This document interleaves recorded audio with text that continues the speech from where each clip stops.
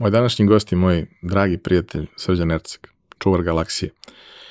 Četvrti deo njegovog gostovanja, četvrti od beskonačno, sve mi se čini.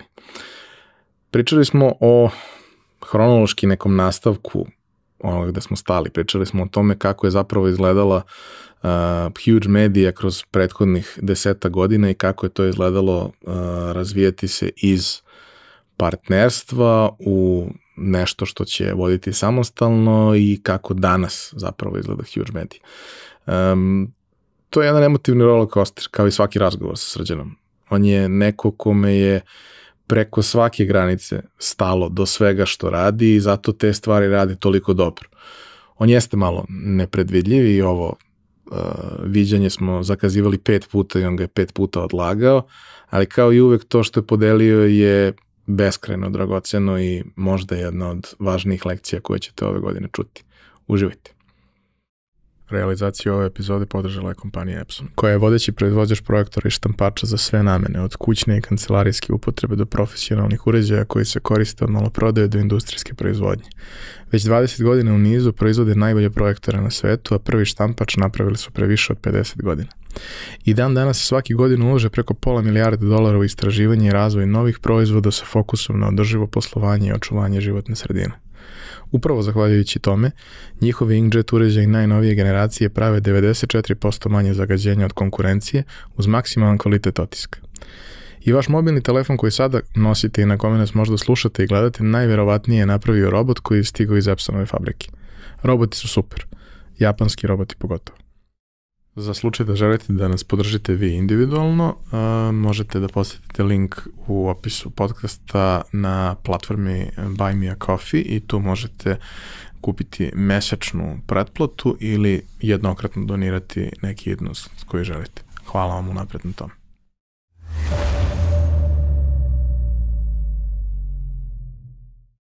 I nakon skoro godinu dana nastavljamo žiti Ercegovo četvrti deo od Beskonačno. I e, obećavamo da neće biti ovoliki gepovi u buduće, da ćemo se viđati bar na 5-6 meseci, dok ne ispričamo celu priču, znači narednih 100 godina. Hvala. Srđan, dobrodošao. Bolje vas našao. Nije te lako bilo uhvatiti, odlago si me Oprosti. više puta nego Oprosti. ovaj, otvaranje poglavlja za... Oprosti još jednom. Nema veze, sve to u redu. E, Ljude kao što si ti, jednostavno prihvatiš da su takvi kakvi su i uživaš u tome i trudiš se da ne, ne praviš neku preveliku štetu. Ja volim da kažem da ti i još par ljudi koje znam svaku u svojoj oblasti sile prirode. A sile prirode su impresivne, imaju samo jedan problem, ne možeš baš da ih kontroliš. Da, hvala, još jednom. E, pričali smo dosta tema u prethodnim epizodama, one su uglavnom bile hronološke, ali naravno bilo je iskakanje na neku vrstu aktuelnosti. E, samim tim nećemo krenuti od, od, od početka i toga, nego ćemo negde nastaviti taj razgovor i pokušati da dođemo do, do današnjeg trenutka i onoga što, što sada radiš, ali da dam neku kratku retrospektivu. Pričali smo u prethodnim epizodama o tvom ličnom razvojnom putu još iz uh, detinstva, škole, prva iskustva u agencijama, prva iskustva vezana za Formulu i MotoGP, zatim tvoj ulazak u preduzetništvo, prethodnu epizodu smo se zapravo dosta bavili uh, time kako je izgledao digitalni ekosistem pre 15 godina kada ste vi počeli priču sa, sa Hugeom i šta se tu dešavalo i kakve su tu, kažemo, krupne biznis, biznis odluke donošene gde nisu baš sve uvek bile dobre, to se je li ispostavilo kasnije kao, Da. kao zanimljivo, ali da recimo taj jedan moment uh, usmerenja agencije i specializacije za određene stvari i možda rad na nečemu što niko drugi na tržištu nije radio na taj način, odnosno negde fokus na rezultat, na performans jeste nešto što je vas izdvojilo i zbog čega je Huge opstao i, i dan danas ovaj, postoji, iako svi mi koji gledamo to sa strane deluje nam da je malo u drugom planu u odnosu na tvoje strasti koje su vrlo ovako vidljive, jer ti si čovek koji najviše vremena provodi u snimku u toku nedelje koje ja znam, a znam sve ljude koji su na televizoru i tako. Da. Ali dobro. Uh, ono što hoću da te pitam na početku, mislim, mi imamo mančmelo pitanje, šta si te da budeš kad porasteš, ti si to više puta rekao i sve to u redu, ali ono što bih ja volao da te pitam, pošto si ti, mislim, i dalje tinejdžer, Ovaj, e, ne šta si teo da budeš kad porasteš, nego mislim, kad ćeš da porasteš i šta ti je plan kad porasteš da si čime da se baviš? Ne znam, da, da kad ću da porastem, da ću da, možda ću da umrem kad porastem, pa možda zato šalim se, nemam pojma. Pravo da ti kažem, pa ne, ne znam, zato što meni je lepo i dalje i uživam u ovome što radim i načinu na koji radim i negde svestan jesam svojih godina, 46, jel te, ali ja se dalje osjećam kao neko ko tek kreće negde. Na, naravno, svestan sam da nisam tek krenuo, ali to je neki moj osjećaj. U, vidi šta još imamo da uradimo, vidi šta smo smislili. Ja, sad smo se setili ovoga, ajmo ovo. I ono što je meni mnogo lepo u toj celoj priči, osjećaj potpune slobode, u smislu da koliko god da sam bio slobodan ili uradio stvari koje mislim da su sloboda, može još slobodnije. To jest, može da se radi bukvalno još slobodnije. Dakle, imaš mogućnost, pogotovo sada uz razvoj tehnologije, meni prija savremena tehnologija, dobro se osjećam u njoj. Evo, pazi, zavisi ovo pre 15-20 godina da se snima. Gledao sam neke snimke od pre deseta godina gde je pogotovo zvuk veoma loš u nekim snimcima, ne vašim konkretno, nego nešto drugo sam gledao, na, naišao neki snimak iz 2010. i pokušavam da čujem i da shvatim čoveče za 10 godina gde smo došli, a izgleda kao da je, i pošto je to svakodnevnica, pošto je to danas, današnji trenutak, pa kao to je sasvim normalno da imaš, ne znam, telefon koji može da snima u 4K, u Full HD, u čemu god, da imaš zvuk koji je neverovatan, ali to je na neki način, iako u razvoju već poslednjih 10-15 godina i više sve to nasledđe, nekako sad došlo do izražaja ti kaže, čekaj, sad mogu da budem još slobodniji, sad mogu da stvorim još više stvari. Tako da nemam, nemam pravi odgovor, ne znam kada ću da odrastim. Nemam pojma. Ima taj moment, ovaj, svi mi smo odrastali kroz neke predivne trenutke i kroz mnogo ne tako sjajnih i kroz neke traume poput recimo Mijatovićevog penala, koga se ni dan danas nismo oporavili 24 godine kasnije. Dobro, ja sam malo stariji iz Nezamiri, ja se sećam i Argentine, tako da... Dobro, ali ja to je, mislim to je da moj da se ona prečka i dalje trese. trese mislim, se sećam se i ja, meni je prvi album bio ovaj, Italija 90. i dalje mislim da je ono najbolja maskota koja je ikad napravljena. ovaj, ono, znaju žabari. Da, to, ne, ali budi, budi, kroz, budi kroz život, znaju, znaju ovaj žabari. Ali taj neki moment da kao sećaš se tih nekih trenutaka, a posebno što se sećaš tih trenutaka, jer nakon toga nije bilo više takvih stvari. Nisi imao loženje da ideš na svetsko prvenstvo da uradiš nešto u futbolu. Nisi imao ta zlata u košarci i to sve. Onda kad kao premotaš i skapiraš da, da, kao kako smo dobili Ameru u Indianapolisu, to je bilo pre 20 godina. Mm, da, I kad pogledaš snimke toga, to izgleda kao da je snimano fiksnim telefonom. 4-3 odnos, evo pre neki dan je išla trka iz Lagune Seke 2005. 4-3, ja gledam i razmišljam, bože, standard definition, kako to loše izgleda u današnjim, po današnjim standardima. Kao da je bilo pre 300 godina. Ali, jel, da li ti je u glavi kao da je bio Full HD, kao da je bio 4K snimak? Jer meni je u glavi kao da ništa nije fal, nedostajalo tom snimku, kao da je to najnormalnija stvar bila to nam je bio u tom trenutku standard i nismo znali za bolje. I, i sve okej, okay. i onda gledaš i razmišljaš čoveče, šta, kako, kako, je, jo, kako je to loše zapravo? A u suštinski nije ništa loše, samo je bilo drugačije. Znaš šta sam isto, mislim, aj, mi smo gikovi, ljudi će se smoriti ili će se oduševiti za, za ovaj deo, ali taj moment je kao nekada, uh, smo smo imali televizore sa katodnom cevi i svi, da. svi televizori su u principu imali dobre boje Znači, ono, ti si video, ok, ako je stariji i sve, ali, znaš kao, ta varijanta da se, da. da se dešava na futbolskom terenu nešto, da ti je sve zeleno i da ni ne vidiš lopti, loptu, kao, to nije postojalo, to, to se videlo, takve su bile i kamere, sve je bilo tako. A sad imaš tu situaciju da kao kupiš neki jako jeftin televizor, a veliki, to sve izgleda kao jedna velika fleka u kojoj vidiš detalje, ali jednostavno, znaš, ono, ti odnosi boja, kontrasti, sve ostalo, to ne izgleda prirodno i imaš jako neki čudan osjećaj da iako imaš sve detalje ovog sveta, ti u principu ništa ne vidiš. Ma nisi razmišljao o tome, ali moguće da to zapravo da tada nisi mogao tako lako da proizvedeš televizor. Ta tehnologija Absolutno. prosto ti to nije dozvoljavala, a i prosto da kažeš lanac snabdevanja, način na koji si mogu da dođeš do tehnologije bio mnogo kompleksniji. Tako da to je moja pretpostavka. A i pravljeno da traje 100 godina. Jeste. Nije Da, se menjalo. Nije se menjalo. To je kad se menjalo, to je bio događaj.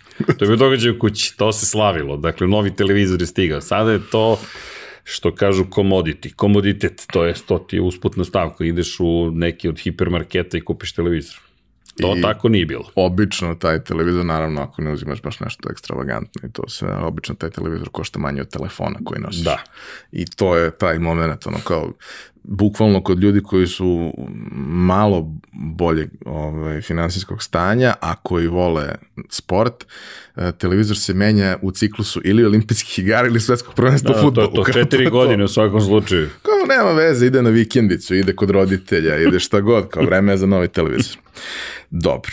A, ok, hajde da se vratimo na, na priču o Huge-u, jer jednim, jednim delom te priče se nismo bavili, ja mislim da je veoma značajan, posebno da je značajan za, za publiku koja sluša i voli pojačalo, to je taj moment da uh, si ti kroz uh, Huge prvi put u jednom ozbiljnom poduhvatu ušao u partnerstvo. Odnosno, partnerski si to radio sa, sa prijateljima i to nije bila neka kratkoročna stvar koju vi radite partnerski, nego je to bilo nešto što se pravi, što kažeš, za Godinama. ceo život. Pa da. Pa sad, da li će je trajati, ne ideja. znamo, tako ali je.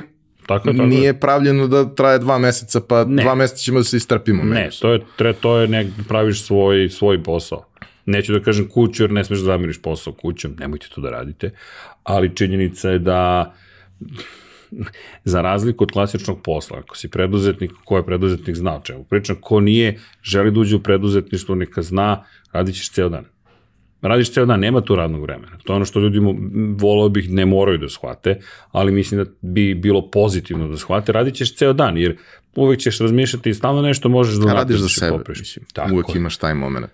I to je, to je nešto što sam ja kasno tek uvidio, možda tek sada, evo sad, sad, sad, sad sam se vratio sa nekog kratkog mini odmora i moja lepša polovina je sedela i radila non stop.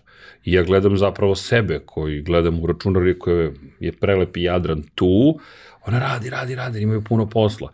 A ja, taj je to jedan od lepših momenta, u ovom trenutku za mene imam posla, ali nemam toliko posla i odbio sam da radim koliko sam ranije radio, jer suštinski se izgubio, izgubila se svrha, stalno sam u računaru, uvijek možeš da proizvedeš, stvoriš, napraviš još, ali negde pokušavam da uživam u tome što se događa oko mene i to mi je baš bilo važno. Ali apropo ovoga, kada smo kretali, to je razmišljanje, sad ovo pravimo za Da, nas. će pominja se trajno da kako, kako je to izgledalo u startu gde suštinski vi ste sve imali druge poslove i krenuli ste Tako da pravite morali, to, da.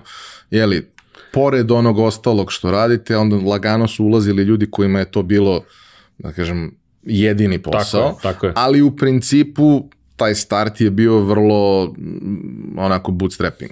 Pa da, E, ali ne, taj deo smo negde prošli, te, tu ranu fazu Huge-a, to, taj trenutak dok Huge nije postao Kompanija. stabilan, kompanija koja ima dvadesetak ljudi, ima, Jeste. da kažemo, stabilno poslovanje, predvidljivo, naravno, tržište je takvo kakvo je, pa nikad ništa nije baš 100% predvidljivo, ali znaš otprilike šta te negde očekuje, znaš šta su neki narodni koraci, ali taj deo uh, koji vrlo često, da kažem, postoji kao, kao challenge u, u, u- ovim situacijama, u firmama, uh, odnosi partnera, suvlasnika, investitora, da. menadžmenta, šta je čiji posao, kako, šta je čija odgovornost, na koji način stvari funkcionišu. Prosto ono, volao bih da podeliš neku svoju vizuru vezano za to, jer postoji određena vremenska distanca, pa možeš da sagledaš to unazad. Da, pa vidi, sad baš razmišljam, mi nismo baš znali kako to, kako to da funkcioniše. Možda bih danas znao, ali ne mogu ti garantujem, zato što nije sad Bogdan tu, nije Ivan, nije Nikola tu, znaš, ne znam gde su oni sada u svojim razvojnim putovima. Svako otišao na svoju stranu, svako uspešan u svojem poslu, čime god da se bave. To su ljudi koji su ambiciozni po prirodi negde svoj, svojoj.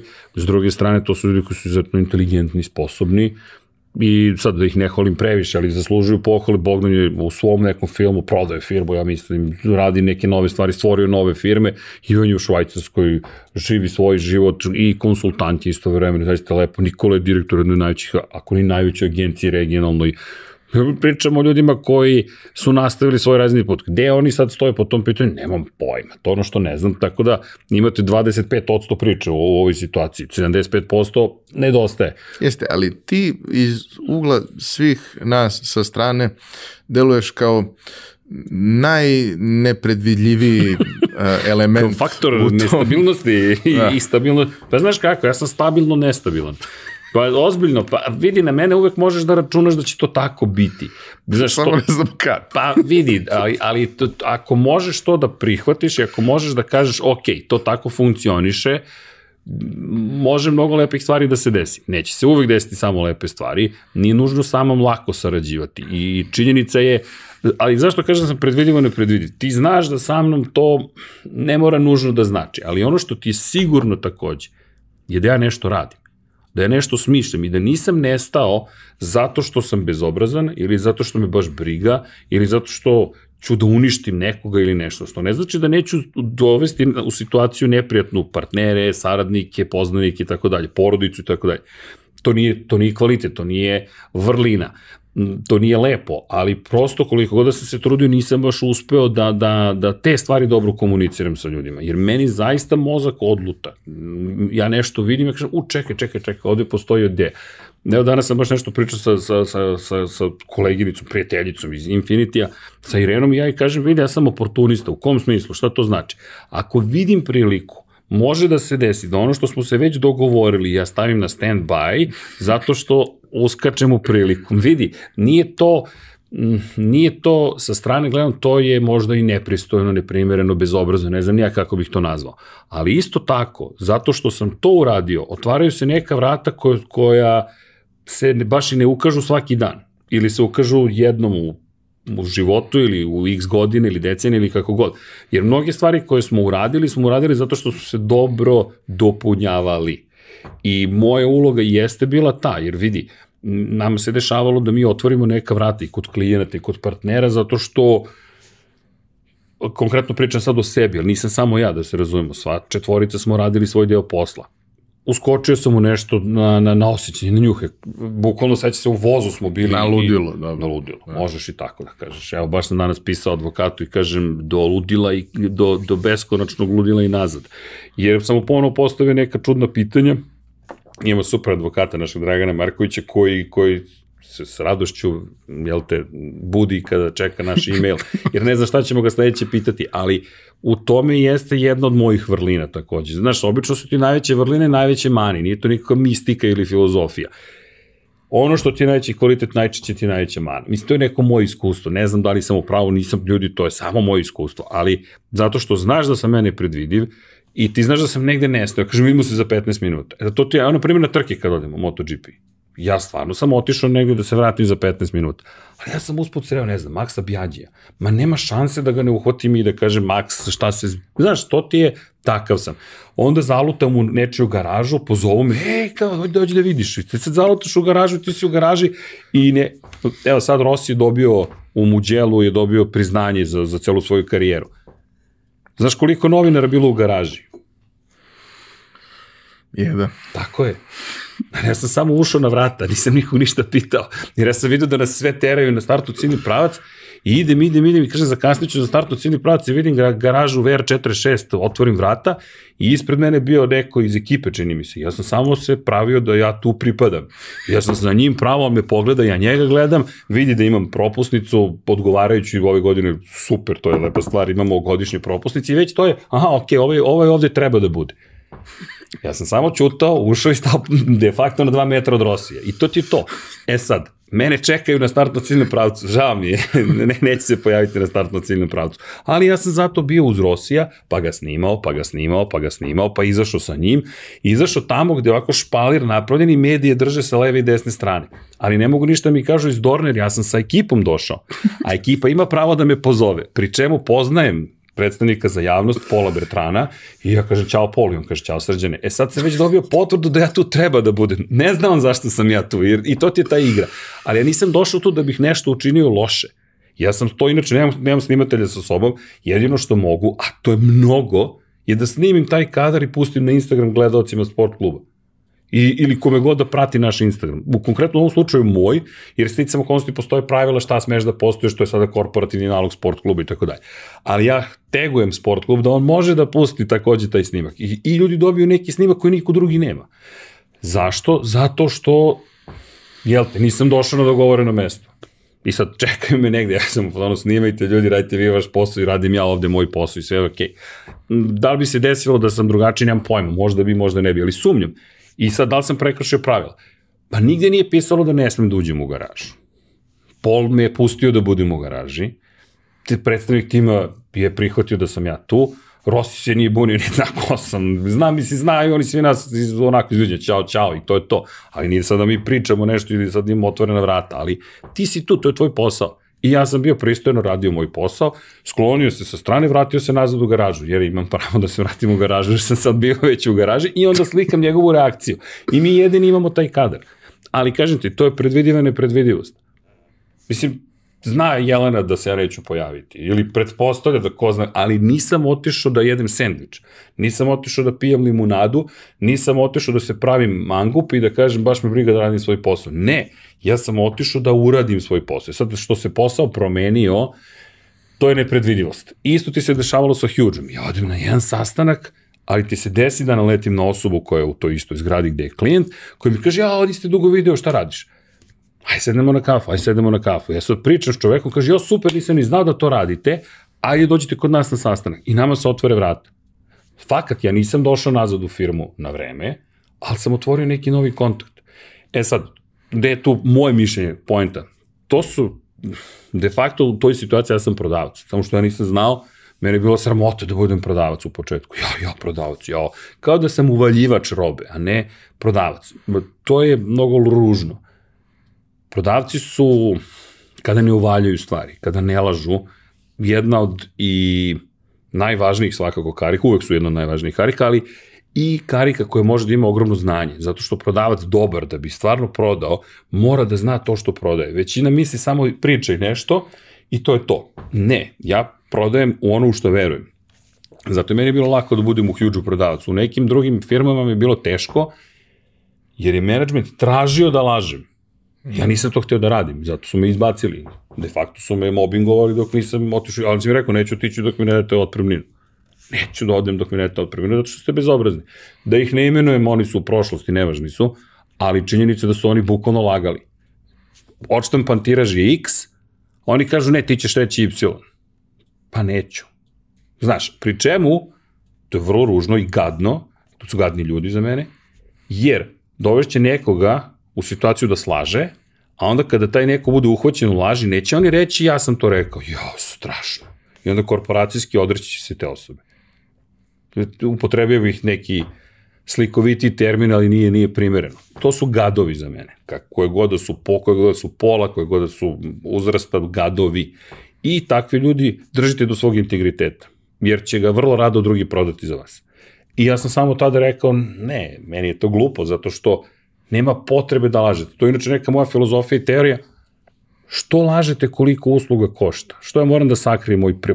Tako nam je industrija marketnička, zatraže se transparentnost. Ali mi imamo lažnu transparentnost u velikom broju slučajeva. Izmišljamo razlike u ceni ja nemam problem sa razlikom u ceni, da se odmah razumem, imam problem samo sa tim odnosom gde, gde, gde klijenti znaju da ih lažeš, ti lažeš i kao svi su okej okay sa time. To je meni besmisleno. Da, dobro, imaš i taj moment konkretno u, u našoj industriji da vrlo često praviš takvu vrstu ponude koju niko ne može da isprati, a koja se i tebi ne isplati.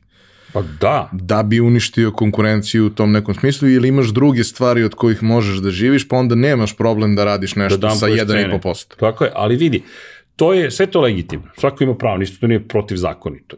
Ja samo mislim da će svi zajedno na tržištu imati mnogo manje para zahvaljujući tom principu.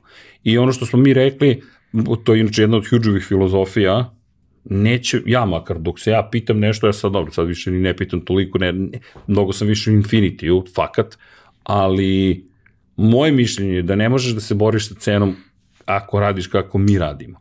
Zašto? Zato što će uvek neko moći da da nižu ponudu. Uvek će neko moći da bude jeftiniji. Nama se dešavalo da radimo, ne znam, društvene mreže i dođe neka od velikih agencija, velikih sistema, koji kupuje, prodaje televizijsko vreme, to jest GRP-eve, out of home radio, bla, bla, bla, bla, bla. I tu se skupi tolika količina novca se akumulira da oni mogu da dampuju usluge za digital. I ne znam, ti, ti mikro naplaćuješ. Mi smo naplaćali nešto sitno, tipa 250-300 evra vođenje stranice za nije ni bitno jednu veliku kompaniju. I to je trošak od, ne znam, 750.000 evra za njih mesečno.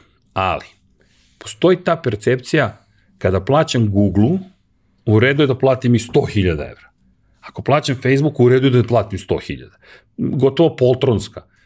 Oni su bitni i veliki. I dođe huge media, a vama da dam 1000 evra. Pa ne daješ meni, čuče, plaćaš za uslugu neku.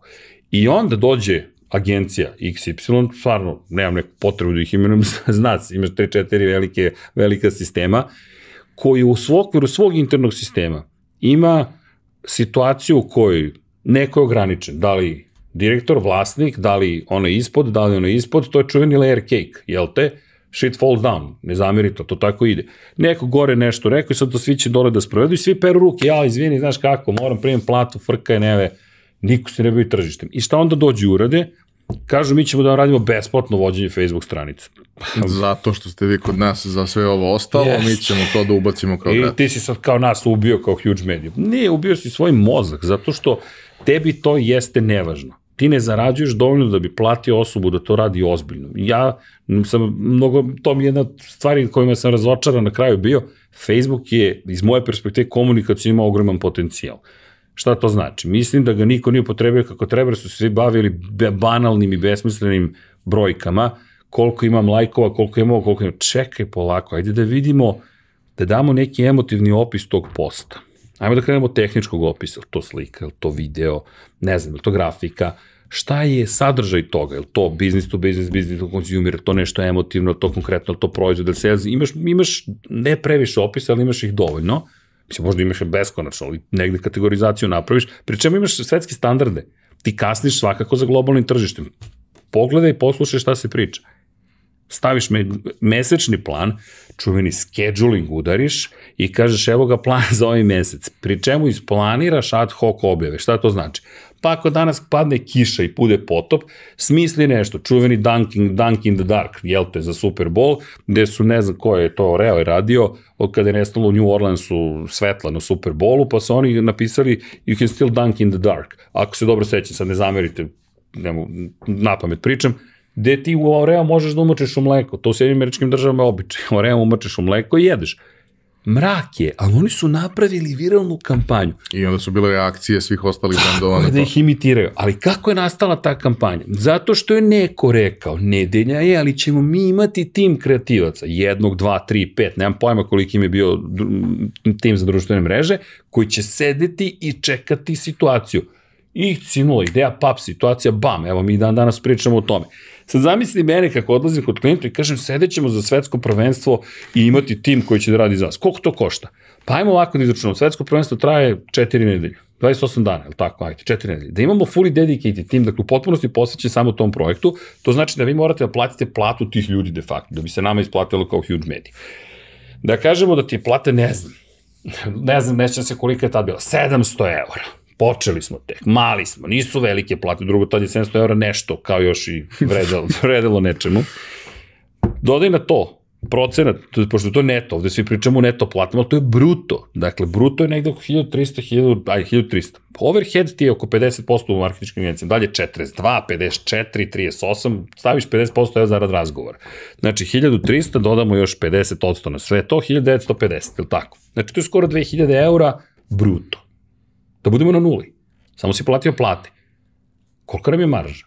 Šta ćemo kažem, evo 15% je marža. Čini neka marža, ali u marketingu tako, uaa, U kom marketingu? Ako imaš veliki promet, onda 15% nešto znači. Ako je mali promet, imaš maržu 15% na 100 eura. 15 eura, top. To je besmisleno. I ovde ljudi se frljaju. Inače, evo, nisi pitao za savjet, ali savjet svim zaposlenima. Kada vam šef dođe sa glupovom pričom, u procentima tvoje plate je skočilo 20%. Pa da, majstor, ali ako je 320% i nije nešto mnogo. To su meni radili redovno kroz korporaciju. Znaš, skočilo ti je plata 20%. To je dalje ništa. Da čuveni Bob Rokovski, 20% od ništici dalje ništica. S tim što ja nisam bio loše plaćen kroz moju karijeru, fakat. Ali činjenica se uvek smeo kada ljudi dobiju, pa, pa dobio je 15% povišicu. Reče čovek koji ima sedam puta veću platu. Halo, nije isto. I okej, okay, ti želiš da zaštitiš svoju platu, bla, bla, trući, ne znam, PNL, čuveni profit and losses, ali nemoj da lažeš tog čoveka. Ružno i glupo je. Drugo, ne investiraš u budućnosti, već stvaraš jaz između vas. Vratit ću se na partnere, ne brini. I sad u toj celoj priči, da, da, ali pazi, sad ti to tržište, ti sad i toj priči o partnerima. Ti dođeš i kažeš, ok, 2000 eura nam treba da imamo jednu osobu i 15%, znači 2300 treba da nam platite po jednoj osobi, a mi hoćemo tim od troje ljudi. Molim, 7000 eura da platim ljude mesečno. Nema šanse. Ne dam. Ok, ti kažeš, ali dobro, pošto smo agencija, ti ljudi ne moraju da budu dedikiti, ti ne moraju da rade samo to, mogu da rade druge stvari, košta će 4500 eura, na primjer. I mi ćemo zaraditi neki novac. 4500 eura. Pa dobro, koliko ti to vredi? E sad dođeš do, zato što je velika ve, šatro velika agencija, mali, mala, mala razmišljanja, zato što imaju dovoljno keša, ne znaju kako da razvije ovo ostalo. I ne znaju da razvijaju. Apsolutno ne znaju, stojim da, da, da su digital potpuno promašali da razviju kako treba, stojim i dan danas pri tome. Na kraju dođeš do toga da e-commerce platforme imaju svoje timove jer su, jer su na kraju pošašavali i rekli ne možemo, ne, ne. A ti stalno dobijaš falše informacije, da ne govorim o odsustvu transparentnosti na Google i Facebooku. Halo, to radi na, na vazama podataka i, i data driven zapravo sistemu, gde podaci moraju da budu liberalizovani. Ali kako da liberalizuješ ako ti moraš da sakreš koliko si stvarno platio za Google i Facebook? Ne možeš i onda si upo sam sebi u rupu. I onda što bi ti razvijao taj biznis? Sad, sad, Ivane, te budem transparentan, a zaradit ću mikro, mikro, mikro. Pri čemu nacionalna kampanja i dan danas minimum 100.000 evra ti treba za ozbiljnu nacionalnu kampanju na TV-u. I onda dođe tamo neki tip. 100.000 eura ne može, da, ne može da te primeti neko. Minimum. Kažem ti, to je ono kao, halo, znaš, kao nešto Da mašaš. samo bude da si se svuda pojavio. Tako je. Niko te nije video, ali pojavio Ali, si se svuda. i, sad ti dođeš u situaciju, ti tražiš svojih 4.500 da imaš dva čoveka koji rade samo na tebi i mogu da stvore čudo. Pazi sad, ovo je sad paradoks. Jer jedno, aha, vi ste zapravo jeftini. Pa onda nećemo da se bavimo vama. U suštini nikom nije stalo da to razvija, jer niko ne vidi te zarade. I što bi se bavili time? Gde nastaje problem? Ako se ne bavite time, pustite nas da se bavimo time. A ne može. Zašto? Zato. Vi nas ugrožavate, ja se smijem, mi smo bili deo, mi smo, na, na, nama su pričali, ne znam, na, na, na jel te, zboru menadžera, da ne kažem na kolegijumu, kao agenciji koja ugrožava ne znam šta. Šta ugrožava? Ste, ste svi poludili kolektivno? Pa jesu. Ali to je, to je smejurija. Inače, apropo partnera, evo ti naše sad razmišljanja. Kako mi da uspemo u tom biznisu? Šta mi da radimo uopšte? Nemamo pojma, Ivane. Mi smo, naš odnos partnera pričemo, ja, znaš, kažem ti, ne znam, nisam sad, nemam ovde od njih trojicu da sedno, kažem kako bismo danas pristupili. Ja mislim da samo moraš brže i odlučnije da se sukobljavaš kada imate različita mišljenja. I nema podilaženja, nema, pustit ću da bude kako jeste, iako znam da grešiš, da bi ti video kako to izgleda. Bilo ja, bilo neko s druge strane. Mi smo to pokušali da rešimo time što smo imali taj čuveni moment, ja stavljam veto na ovo. I kažem, nećemo to da radimo. I svako od nas je imao to pravo. Ili imaš nešto što se zove, ja kažem, mi ovo radimo. I nemaš pravo na pobunu. Svako od nas ima glas za da se radi obavezno nešto, gde je osjeća da će biti dobro, i drugo gde kaže nećemo da radimo osjeća da neće biti dobro. Držite se zajedno. ko je pogodio, ko nije. Znaš, i sad svako od nas ima neku svoju intuiciju, neka svoja znanja. Nismo tad ni znali kako da pretočimo to što znamo u neki pisani govor ili usmeni govor. Znaš, to ti je odnos prijateljstva pre svega. I to jeste nezgodno, zato što ti sada vidiš, ne treba sa prijateljima raditi, ja stojim i dalje pri tome. Neko mi je rekao, ne, ja sam baš s prijateljima napravio super priču. Top, super, bravo, čestitam, meni je to divna priča, ali bolje ne, zato što ko zna kako se mi ponašamo u poslu. Znaš, možda sam ja jedna ličnost privatno potpuno druga poslovno. Ili tako izgledam zato što kao u biznisu pravi, važe, važe neka druga pravila. Druga stvar, evo, sad smo pričali sa gospodinom Mudrinićem, jel te, agonije saradnje, na primjer, majstori, majstori Znaš, svi kritikujemo majstore, to je ono kolektivna situacija. Nema pojma kako je to majstoru ili da li on imao problem ili nije i zašto on kasnio ili nije kasnio šta god. I nikoga ne branim niti napadam, nego samo hoću da kažem ti si ušao u poslovni odnos sa tim ljudima i obično je zategnuto. Zašto? Nisi dobio ono što si želeo, oni misle da su ti isporučili ono što si želeo, znaš, obično na komunikaciji sve to puca. I isto ti u celoj priči s partnerima. Ja sad govorim, rajmo da radimo ovo, neko to drugačije tumači. Znaš, to je mnogo teško, komunikacija je najvažnija. Šta ti zapravo hoćeš? Ja nisam mogao da objasnim šta ja hoću. Ja zaista nisam mogao da objasnim šta, veruj mi, znaš me dovoljno. Znam. Ja im pričam, ljudi, idemo tamo jer to će da bude super. Ne, ne, tamo ne idemo sigurno, to neće biti super nikada. I onda dođemo u sukob, gde ja guram nešto, neki put izguram, neki put ne, neki put budem u pravu, neki put ne, ali znaš kako, to ti ako prihvatiš da će tako biti, neki put je da, neki put je ne, nije savršeno, možda, ćeš, možda će biti lakše. Znaš, naš odnos, pa na trutku smo, mi nismo ni bili suštinski partneri, smo imali toliko posla i bilo vremena da pričamo. Znaš, nije bilo vremena da pričamo. Nemam pojma, Ivan nešto radimo. Kažem, čao Ivane, desi kako si? Evo, dobro se, super. Znaš, Ivan, no, Ivan od pet ujutro radi do tri popodne. A ja u pet ujutro nisam pri svesti. On je nešto ustao i radio. Znaš, kad me probudio u Zagrebu, kad smo išli, e, tad smo dobili nagradu za, za frikomaniju. Koja beše nagrada? Znam da je zagrebački neki festival bio digitalni. Ne mogu se da setim. I legli smo u četiri ujutro, slavili smo. U 5.30 mene, ja se budim, neka silueta nešto radi u sred, u sred sobe, ne šalim se. Ono, Ivan vežba u 5.30, on je ustao za svoje vežbe u 5.30, rekao, ludače, misli se da nas neko pljačka, da on gasio svetlo da mene ne bi probudi sa vidišnom siluetu koja nešto radi. Ali to je Ivan Rečević, znaš, ali stvarno nismo stigli da pričamo jedni s drugima. Pri temu pričamo, Bogdan vodi agenu još uvek u tom momentu. Pravi divan ni, nema pojma ni šta se zbiva s čovekom, ali verujemo jedni drugima. Znaš, danas mogu da ti kažem da sam im verovao. I oni meni, zato što je nemoguće da bi mi dali da radim to što zaradi da mi nisu verovali. Nema šanse. Sad šta to znači? Danas bismo možda bili drugačiji. Ono gde sam ja mnogo pogrešio je bio moment kada sam verovao da svaki zaposlen je poput partnera. To je moja velika greška. Nisu to partneri. To su ljudi koji su se zaposlili i koliko god im govoriš, ej, ovo pravimo zajedno, bit će više para, šta god, ti definitivno lažeš hteo ne hteo lažeš. Ja sam lagao, hteo ne hteo. Jer šta će sutra da pripada udeo u firmi nekom od njih.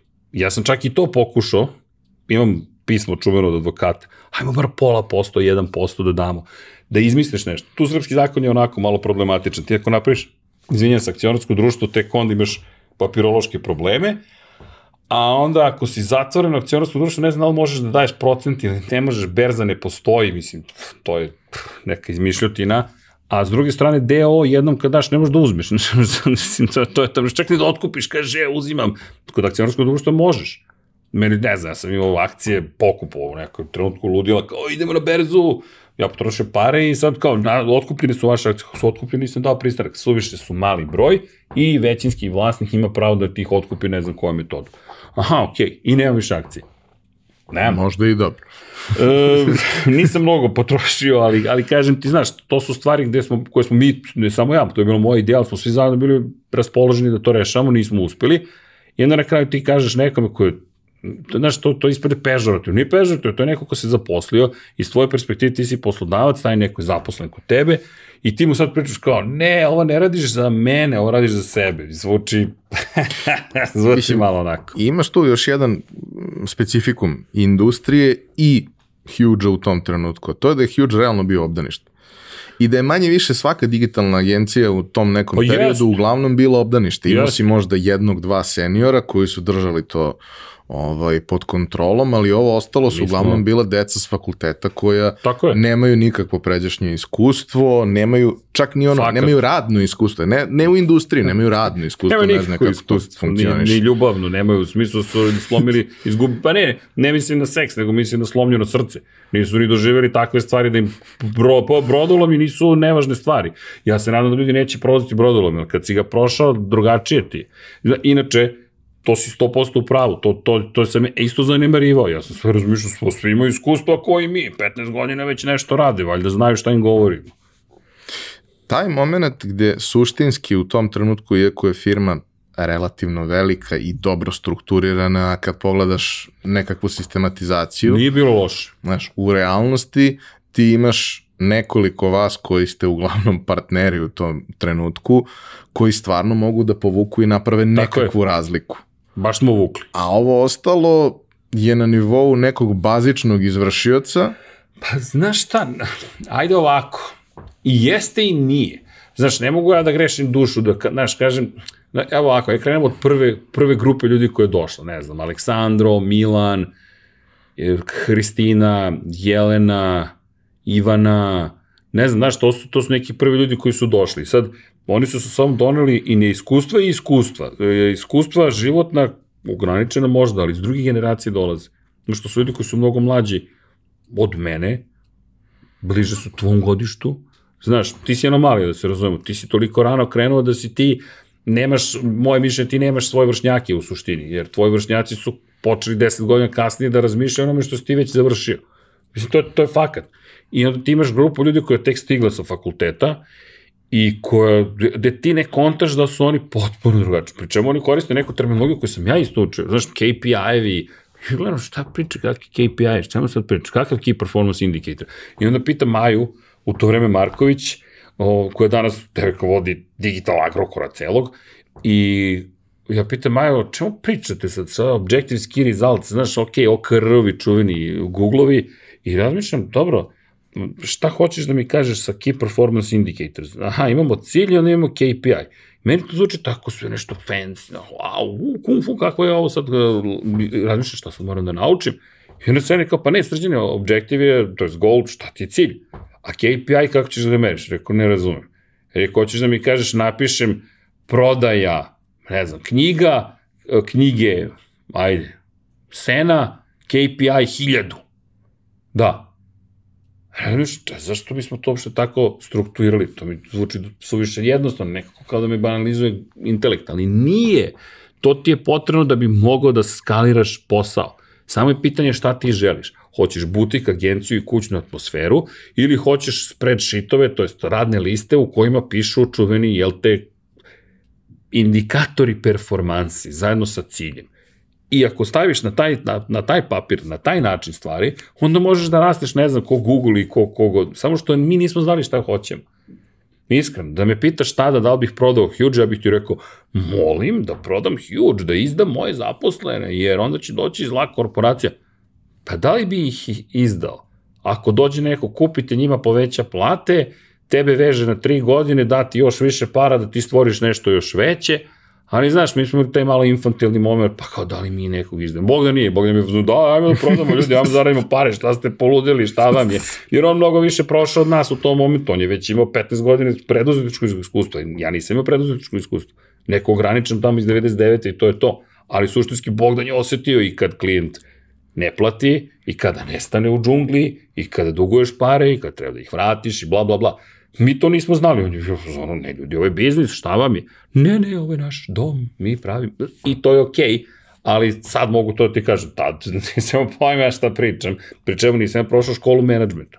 Što su, kao, mi smo menadžeri škole. Ne, meni je najteže bilo da budem menadžer, nikad nisam bio htio da budem menadžer, nikad.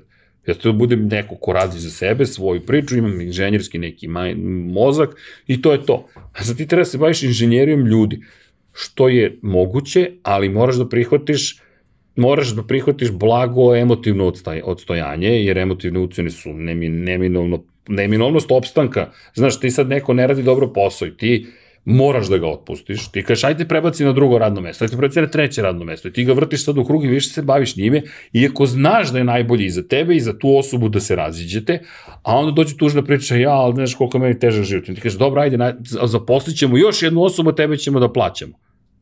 Onda dođe još jedna takva osoba. Pa dođe još jedna od ovih što rade, kažu, čekaj, a to tako funkcioniš. Pri čemu, gde smo grešili? Ovo mi je rođak, ovo mi je brat, ovo mi je kum. Ne, ne, ne, ne. Čak i da super rade. Moraju da rade još bolje, u suprotnom će svako drugi moći da kaže, pa ti doveo si svoju porodicu, a ja ovde treba da radim. Nije okej. Okay. Jedino je okej okay u slučaju kada ti ljudi ono vode ličnim primjerom. Kada su toliko, da kažeš, da se izrazim rogobatno, high performing individuals, da ti kažeš stvarno ovo je neverovatno. Ovo je stvarno neverovatno, ova devojka, ovaj čovek, ovaj muškarac, šta god, je toliko neverovatan da nema veze što je u srodstvu s nekim. I ni nama niko nešto mnogo zamera, ali ti možeš da zapošljaš ljude koji na kraju dođeš u situaciju da kažeš, a ne, a mi smo partneri, svaki partner ima nekog svog. I ima taj moment m, kog se nisi dotakao, a mislim da, da jeste bitan. Vi ste se kroz vreme da kažemo, smenjivali na Pozitiv formalnoj direktor. funkciji direktora. Yes. Uh, I okej, okay, jedna stvar je šta piše u APR-u, jedna stvar je kakava je postavka u kancelariji i tako dalje. Ali realnost je da ti u agenciji u tom trenutku imaš tri odrasla čoveka, od kojih svako ima znanje, kredibilitet i sve ostalo da ti kaže nešto, da ti, Jest. da ti da neku vrstu, Yes. ne naredbe, ali da ti zada zadatak. A da ta tri čoveka se možda nisu baš uskladila oko toga šta bi trebalo, kako bi trebalo, ko Sve bi si trebalo. upisao. I kako prosto je to izgledalo i šta si naučio iz, iz, iz tog dela priče. Pa razišli smo se. To ti je rezultat. Proći ću ja kako smo se razišli. Ali kada je Gojko došao da nam bude konsultant, da nam pomogne, uradio eksperiment. Svi smo seli, svi zaposleni u Huge-u i Gojko je zamolio sve osim menadžmenta, top level menadžmenta, znači, na, dakle, nas trojici Ivana, Nikola i mene, Bogdan je bio tihi partner, da napišu ko im je šef. Znaš šta su napisali ljudi? Šta misliš? Ajde da te pitam. Na random. Ne, sva trojicu su stavili svi. Aha. To je katastrofa. to je pakao. Razumeš, oni ljudi nisu znali ko, ko odlučuje. I onda dođem ja i kažem, a, radi X. Dođe Ivan i kaže, a, ajmo Y. Dođe Nikola i kaže, aj, ne, ne, ne, ne, ne, ne, radimo Z. Ti na kraju ne znaš šta radiš. Ti na kraju radiš vektor. Tangenta, znaš, opalila se, lepo si rekao, vektor. I to, to su naše greške. Ali tu ti je, ajde, ja ću pričati iz, iz moje perspektive, to je pitanje sujete i pitanje, pa ego, sujeta, nisu nam bili dovoljno veliki, ni jedno ni drugo. Zaista. Jer ne možeš da imaš tri šefa. Upravljanje komitetom je pakao za, za, za takve, takve kompanije. Komiteti su za neke glomazne, spore sisteme. Mi nismo mogli da budemo, niti treba, niti smo pravili glomazni spori sistem, niti smo imali te pare.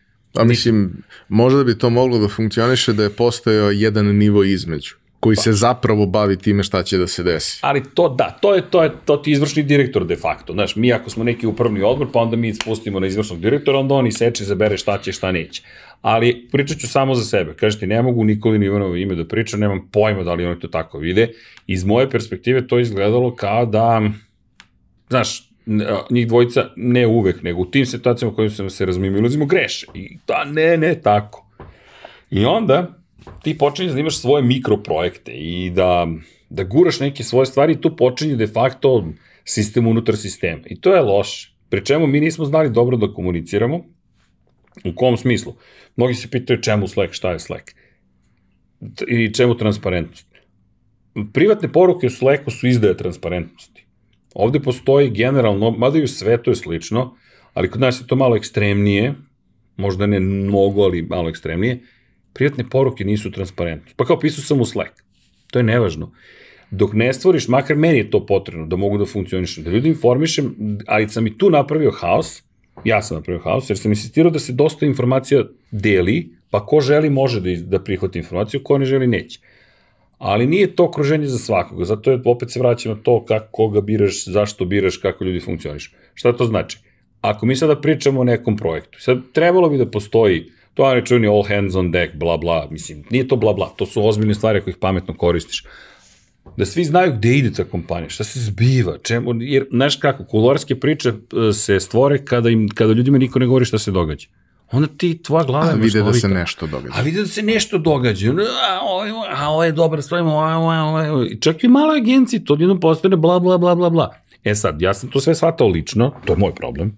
Aha, paranoja. To je sad izdaja kompanije. Čekaj, polako, stani, biblijski moment, nije takav. Dakle, nije ko izdaja, ljudi su dokoni. Aj, to ti govori da, da možda ne radite vi kako treba posao, jer si doveo situaciju da oni ljudi imaju da pričaju nečemu zato što nema, ne znaš šta se zbiva. Ili nisi im dao određene zadatke koje treba da završi, ili nisi iskoristio njihove talente ili šta god. Ili si izabrao ljude koji prosto ne odgovaraju tvojoj kulturi i onda treba da ih zamoliš da napuste kompaniju, to je to. Meni je bilo teško to kod puštanja, pogotovo ja otpustiti nekoga, ja, ja dolazim iz zemlje veselog socijalizma, znaš, kada ne otpuštaš nikad nikoga, svi do kraja, borimo se, ali ti se boriš, ovo iza viče, borite se, stani, I nema tu kao poslodavac zaposleni. Ne, to je samo čovek čovek. Jesi li čovek ili nisi čovek, čak i u poslu. A bilo ih je mnogo koji su vikao, ja, borite se, borite se. I ti se okreneš i kažeš, dobro, otpušten si. Koliko si ti zao čovek? Moraš i da prihvatiš da će neko to da ti kaže, da će te obrišu sa Facebooka, zato što bili ste drugari, ali više niste jer ne radite zajedno. To nisu Nikola i Ivan uradili, ali bilo je nekih bivših zaposlenih koji su to uradili, ok, zašto? Da daš čoveku i on izgubi klijenta, daš čoveku drugog klijenta i on izgubi klijenta, ti kažeš dobro moraš da ideš, ali tužna priča iz mog života, pa žao mi, ali sad je tužna priča za sve nas. I onda dođeš do kapetana plovidbe, jel ti odgovaraš za celu posledu ili samo za jedno? Znaš, to je čujeno pitanje. Mi nismo znali. Mi stvarno smo hteli da svi imaju posao za uvek. Znaš, ali nije uvek moguće. To, to su, ja kažem na kraju dana, opet su to naše greške. Ali, da se, da, jel te, da se vratimo na, samo na kratko na transparentnost, kada pričaš i kada si zaista transparentan i kada neko vidi, kada pogrešiš i ne otpadne ti glava, nego neko dođe i kaže ajde da rešamo, pa ćemo posle da vidimo zašto si pogrešio, možda možeš da stvoriš dosta dobru kulturu. Ali to je na menadžmentu opet na koji način. Ako ti si transparentan i neko zlopotrebi transparentnost, taj mora da ide iz sistema. Taj mora da ide iz sistema. Jer taj će da povuče nekog još da uđe u privatne poruke. Kakve privatne? Pa kao ja sam upisao. Pa dobro, ja znam da si ti nekome pisao da ti treba nešto, da ti kasni projekat za to. Pa ne, ali nisam hteo da ga drukam. Halo, nije ovo kriminalna organizacija, nije ovo policija. Niko od nas ne zna da se nešto događa. Očekujemo da imate više od 14 godina razvoja i da kažete, ej, u problemu smo. I da onda svi zajedno nešto uradimo. Nažalost, mnogo menadžera na ovim prostorima, pogotovo to zloupotreblja. Aha, pogrešio si. I onda ide sledeća igra. Ako si pogrešio, sad mi duguješ. Ma ne duguje ti tvoj posao da pomogneš čoveku da se reši problem, a posle da vidiš da li oni dalje za taj posao i da li možete dalje zajedno. Ali, pošto su menadžeri u velikom slučaju, broj slučaju nesposobni, ali su uspeli da dođu do pozicije, onda on svoju nesposobnost štiti tako što, ne znam, njega uceni i kaže, aha, bio si pogrešio, sad mi duguješ. A zna da je on sposobniji od njega, ali mu je on u dugu emotivno. A ovaj je naučen da bude poslušan i da emotivni dug se gradi. Samo pričam, naš kultura kompanije je mnogo bitna stvar. Ali ti kao kapeta moraš se baviš njome non stop. Ali onoga momenta kad ti izađeš iz firme, zato što si ti i account manager, i prodavac, i IT, i ne znam nija šta, čao neko mora da čuva brod, neko mora da bude kapetan. Mi smo to pokušali, ali nismo znali kako i ja ne, ne mogu nikog da krijem. Ali kažem ti, apropo obdaništa, jeste bilo obdanište, ali ti ljudi su doneli takođe neka razmišljenja koja su meni makar bila nova. I ja uvek verujem da možeš da naučiš od ljudi. Ba ne, ja, ja smatram da je jako važno da imaš tu neku vrstu svežine i nepotrošenosti ljudi koji dolaze, zato što prosto svi mi hteli to da priznamo ili ne smo istrošeni prilično. Što znači sa jedne Molim. strane, dobro ti si fenomen, ovaj, ali sa jedne strane to, tu postoji pod uslovom da smo potrošeni u procesu koji je bio produktivan i dobar za nas. To znači da mnoge stvari možemo da radimo bez ikakvog opterećenja, da ih radimo po automatizmu i kao posledica nekog iskustva, da možemo da uradimo mnogo više bez toliko napora. Ali ako tražiš tu neku ono pa. svežinu, tu neku iskru, to nešto novo, to će dosta teže da dođe ukoliko je neko u mašini x pa, godina. Da, imaš, pa to sad, znaš, zavisi od pojedinca, da li, da li ga je mašina slomila, da, znaš, znaš kako, ja uvek gledam pojedince i ti si u pravu, u suštini, mnogo više ljudi koji koji, koji su slomljeni, ali zašto? Nema ljudi kao što si ti, srđane. Ti si jedinstven. Ja, ja, ja to ne, ne razumem. E, ni meni nije jasno, ali, ali prihvatam da je tako. Ok, hvala. Mislim, lepo zvuči, meni makar lepo zvuči, ali ja to stvarno ne razumem. Znaš, ti kad me pitaš kada ćeš dodati, nemam, Ivane, ja, ni, ja ni ne razumem. Ja zaista se osjećam kao da sam tek počeo. Srđane, to što si jedinstven, ne mora nužno bude dobra stvar. Valentino Rossi je jedinstven, ali Adolf Hitler je jedinstven. Da, da, okej, okay, hvala ti, ne, ja bih više da učim neku bolju varijantu, ako može. A, ali... Hoću još jednu stvar da te pitam vezano za, za celu tu situaciju. Vi ste imali tu postavku u kojoj ste vi nosioci znanja. Znači, vi ste ljudi koji najviše znaju u firmi, do nekog trenutka kad je tu bilo još ljudi, ok, ali u, u nekom početku svega toga vi ste tri osobe koje najviše znaju da. u svaku, svaku u svojoj specifičnoj oblasti. I uh, to je jako dobra osnova da se gradi autoritet, ali nije dobra osnova da se gradi firma zato što treba još nekog znanja. Da. Ali ono što meni se čini kao možda najveći problem oko, na koji ni ja nisam imun, da se razumemo, uh, je taj moment da je mnogo teško da uh, upravljaš ukoliko si stalno u operativi. Tebi treba operativa da bi bio u toku, da bi i dalje znao, da bi bio aktuelan i sve to, ali je količina operative nešto što je vrlo, vrlo problematično. Vi ste konstantno radili. Yes. Najzahtevnije, najkomplikovanije stvari ste radili vi.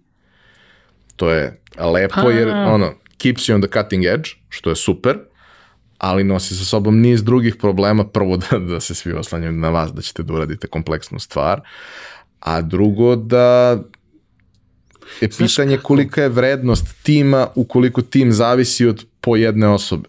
A mi smo pokušali da prenesemo znanje. I vi ste preneli mnogo znanja, to odgovori činjenica da su svi ljudi koji su otišli iz Huge otišli na nešto jako dobro i napravljena im je ono, napravljen je karijerni put za svakog od njih koji je sjajan. Mm.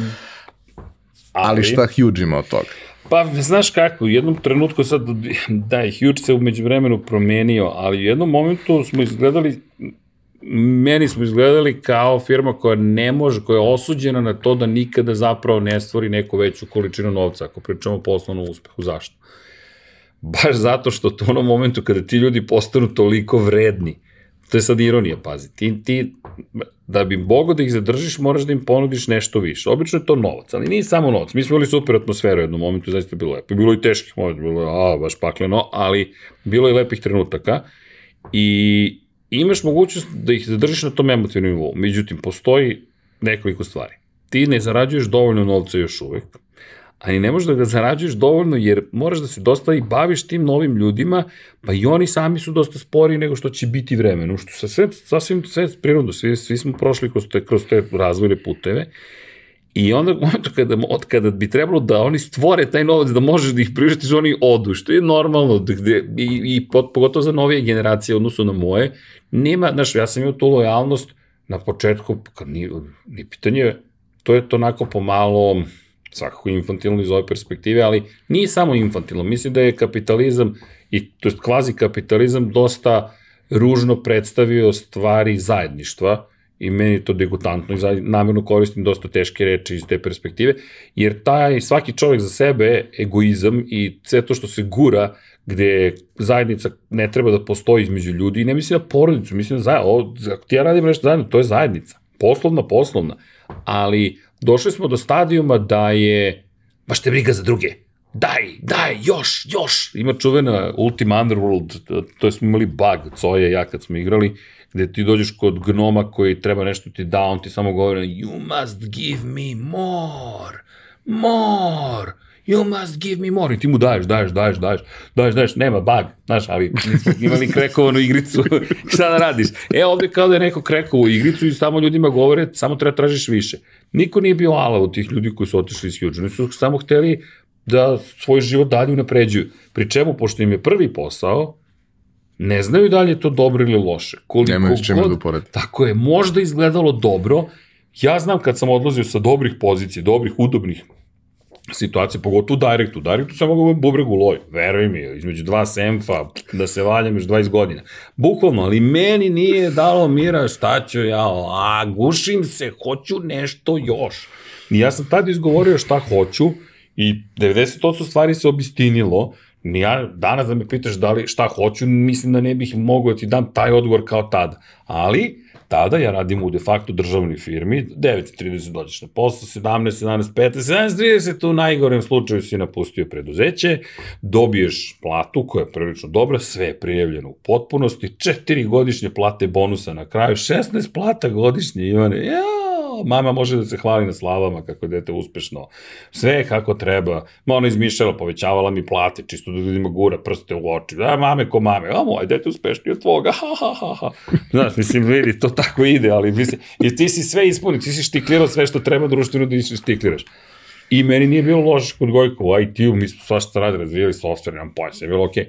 Ali sedim i razmišljam, ja, bože, ja bih ipak nešto drugo I nešto drugo, nemam pojma šta bih, ali hoću nešto drugo.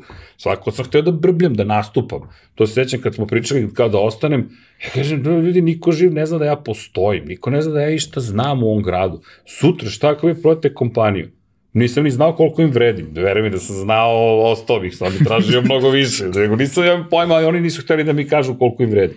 Njima je to bilo sistem pregovaranja, bolje da ne sazna nikad koliko nam je bitan. Glupost! Platite ljude koji vam vrede, a man zama, na kraju će opet da vam odu. I onda će da bude izdosi kompaniju ili će biti, znaš ti šta smo ti pripremili u momentu kad odlaziš? Šta ste mi pripremili? I što mi niste ponudili pre nego što sam otišao?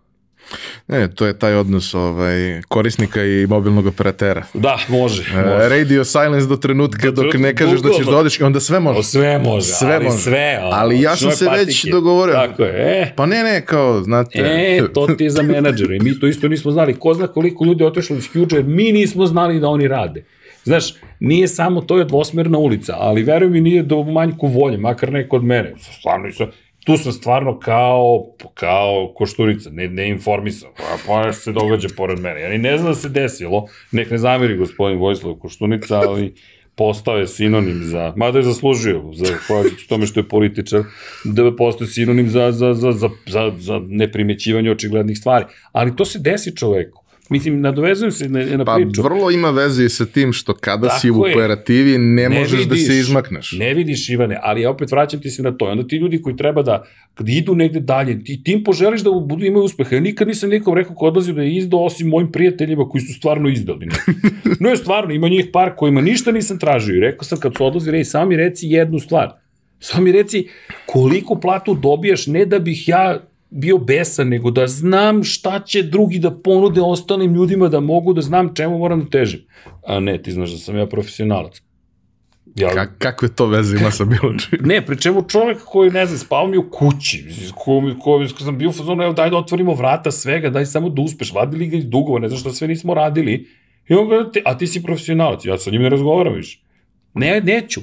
Može, čao, čao, da treba pomoć neka, ja, super se. Neću da razgovaram, zašto? Zato što je to za mene bila izdaja. I stojim pri tome da to izdaje. Ovi klinci, ko me izdao, šta otišli na drugim pozicijama, daj poželim bre srećan put, reci im bravo, želim ti uspeh. Zašto mi ne bi bilo drago što je neko uspeo? Bilo mi je drago i za njega što je uspeo.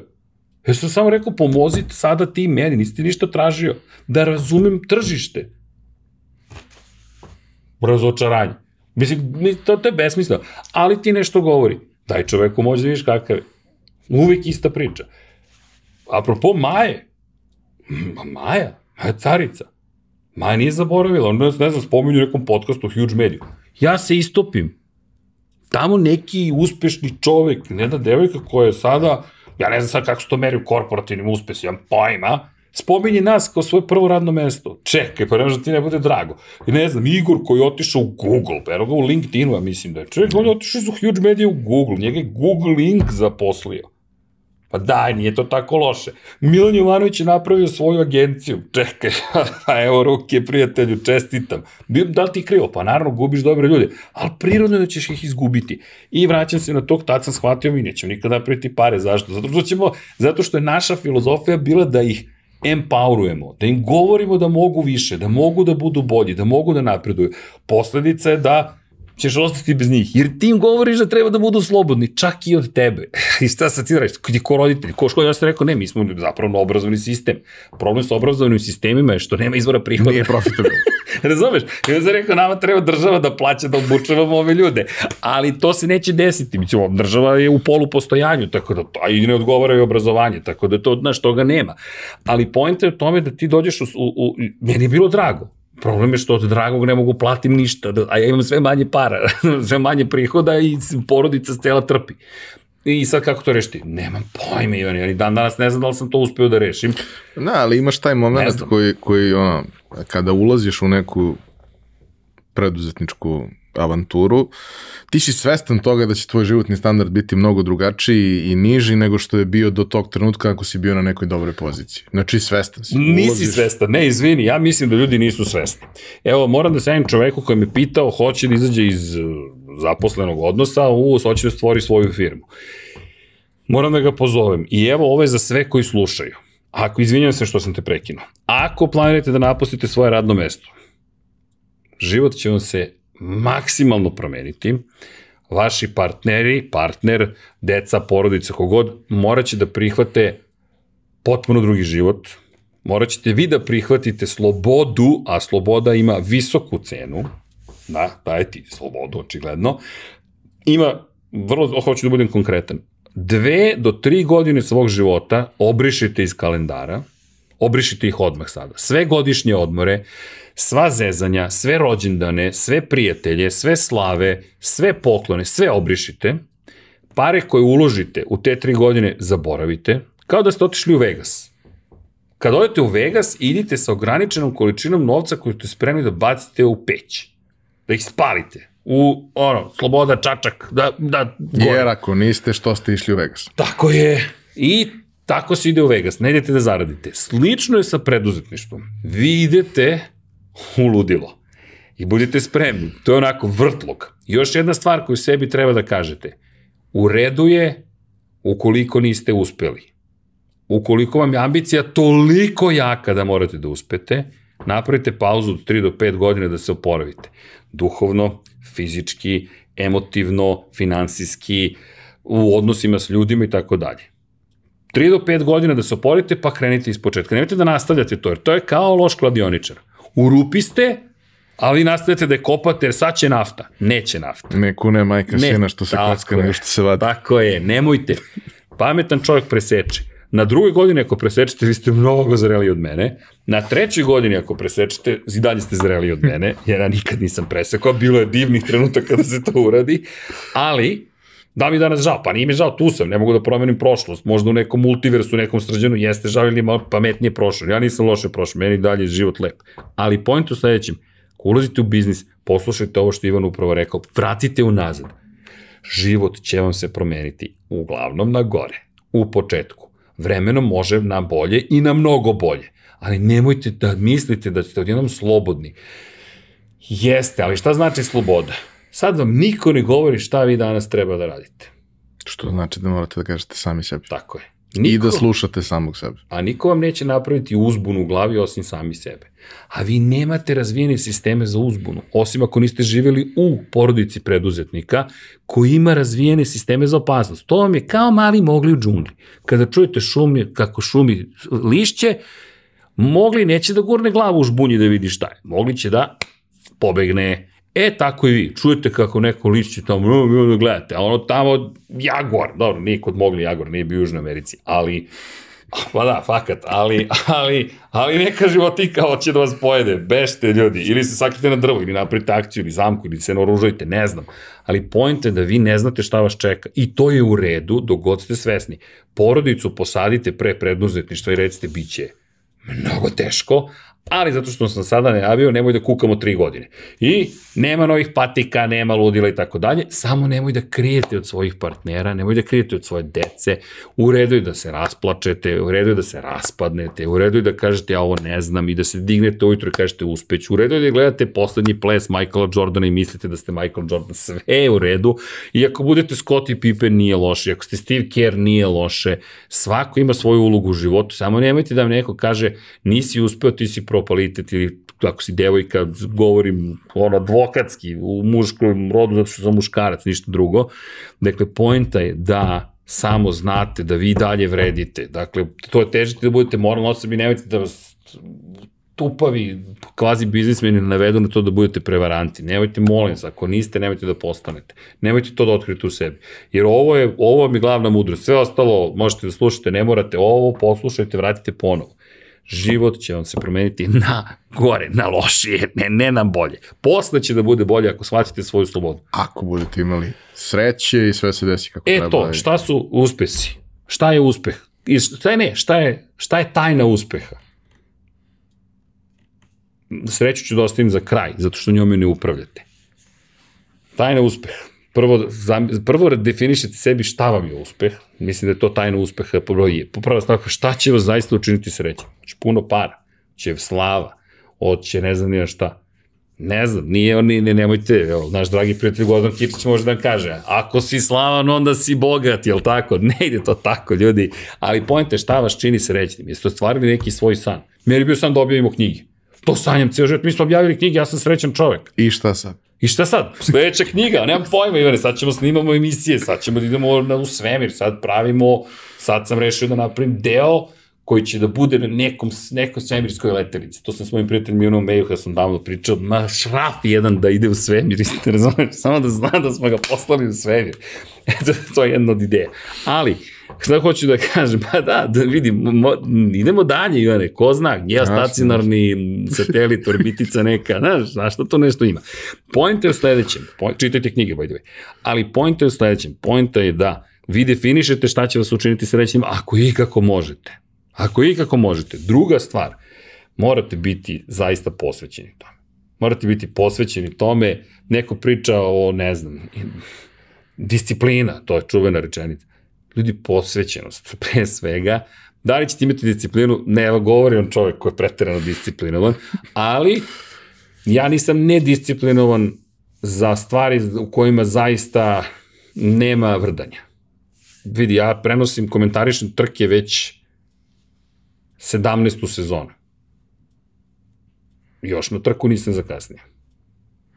Za razliku od svega ostalo. Tako je. To mi je Pa Živković rekao. Znaš šta je srđenje? Srki, slušaj, ti, ti kasniš na sve sastavke, nikad nisi zakasnio na trku. I to čula moja devojka kao, stvarno? Kaže, stvarno? O, rekao, šta ti to govori? Šta ti to govori? Da sam ja negde podsvesno vrlo svestan, jel te, da mogu da pustim svoje ludilo nekim, pod nekim situacijama, a nekim ne mogu. Znaš, tebi, hvala ti što mi dozvoljuješ da budem lud. Meni je to potrebno. Mislim, nisam ja lud, ja samo možda ekscentričan.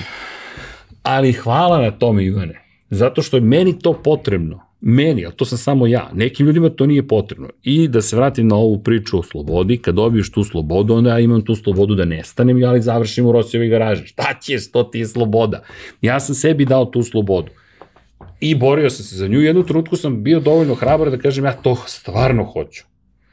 I sreća vam je potrebna. Zaista vam je potrebna. Disciplina, super bi bilo. Mihael Šumacher je uspeo čovjek, ne samo zato što je bio i posvećen i imao cilj tako da. On je imao gvozdenu disciplinu. Novak Đoković, ovako. Michael Jordan, ovako. Ja to nisam. Ja ne mogu da ostanem svaki dan u isto vreme i da vežbam. Nisam Tom Brady. Ja sam Srđan Erceg i to je to. I to je u redu. Ja sam zadovoljan. Tip, što kaže Bora Đorđević. Iz perioda kada još njegova poezija zaista vredela.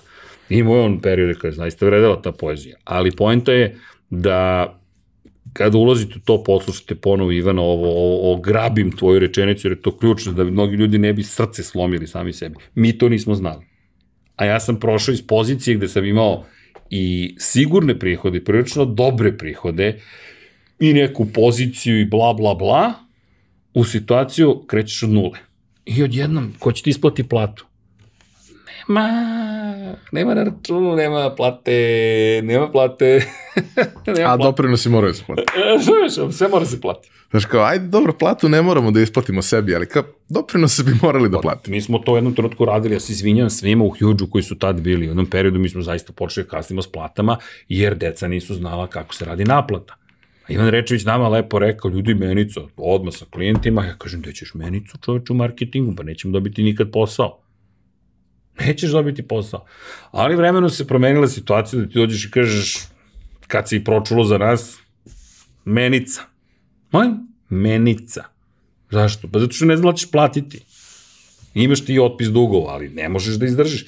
I onda smo upali u čuveni negative cash conversion cycle, positive cash conversion cycle, ko ne zna šta je likvidnost, taj nije vodio firmu. To može da vas ubije. Na papiru možete imati milione, ali ako nema novčaniku, problemi i to se nama sve desilo. A onda opet to, sad, partneri, ko je krivi? Sam ja krivi, ili Nikola, ili Ivan, ili Bogdan?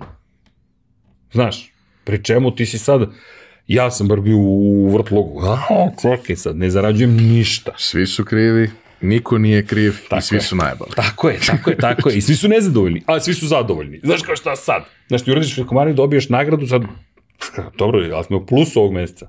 Pa jesmo, ali nema para. Pa kako nema para? Pa ko će sad to neko da naplati? Pa ti, ti naučiš kako da naplatiš. Pa dok preživiš, dok si akumulirao dovoljno Da, da možda dugova- isfinansiraš sve ciklove koji treba, Tako je. koji treba. E, ali postoji, kod naše industrije postoje ozbiljan problem za nas, pogotovo u tom trenutku, to ti je bilo što smo mi Google morali da platimo u početku karticama odmah, a vremenom pređemo na invoice, to je na fakturu koja se plaćaju za, za ostatku 25 dana, ali Google ne platiš za 25 dana. Čk. CAMCC seče. Svi klijenti padaju u vodu, ne samo klijent koji nije platio. A ti dobiješ veliko klijenta, za nas veliko klijenta u to vreme, potrošiš 20, 30, 50 hiljada evra mesečno i ti kažeš, kako ću to da platim? Onda, Jer je valuta 60 dana. Tako je, jer je valuta 60 dana, 60 ko 90. I igranka. A onda, pošto su svi ugovori po srednjem kursu, ti zaboraviš da staviš gornji kurs ne Narodne banke Srbije, nego kupovni kurs naše poslovne banke. Pa onda imaš gubitak od, pošto je kajmak dosta velik tu, imaš gubitak od jedno 2%. 2%, a ti si se borio za svojih 15, koji je nestao. Razumeš, za kupovinu deviza. A onda Da, da. imaš još kašnjenje od od naplate, pa mora da uzmeš revolving kredit, da bi mogao da platiš plate, pa plaćaš kamatu na to cost of money, čuveni. Koliko te košta tvoj novac? Vidi, ja sad sve to znam. Danas, daj mi da otvorim firmu, nema problema. Ćete napraviti firmu za godinu dana ima da bude mašina. Ali, ja sam Harvard položio ovih 15 godina. Bukvalno.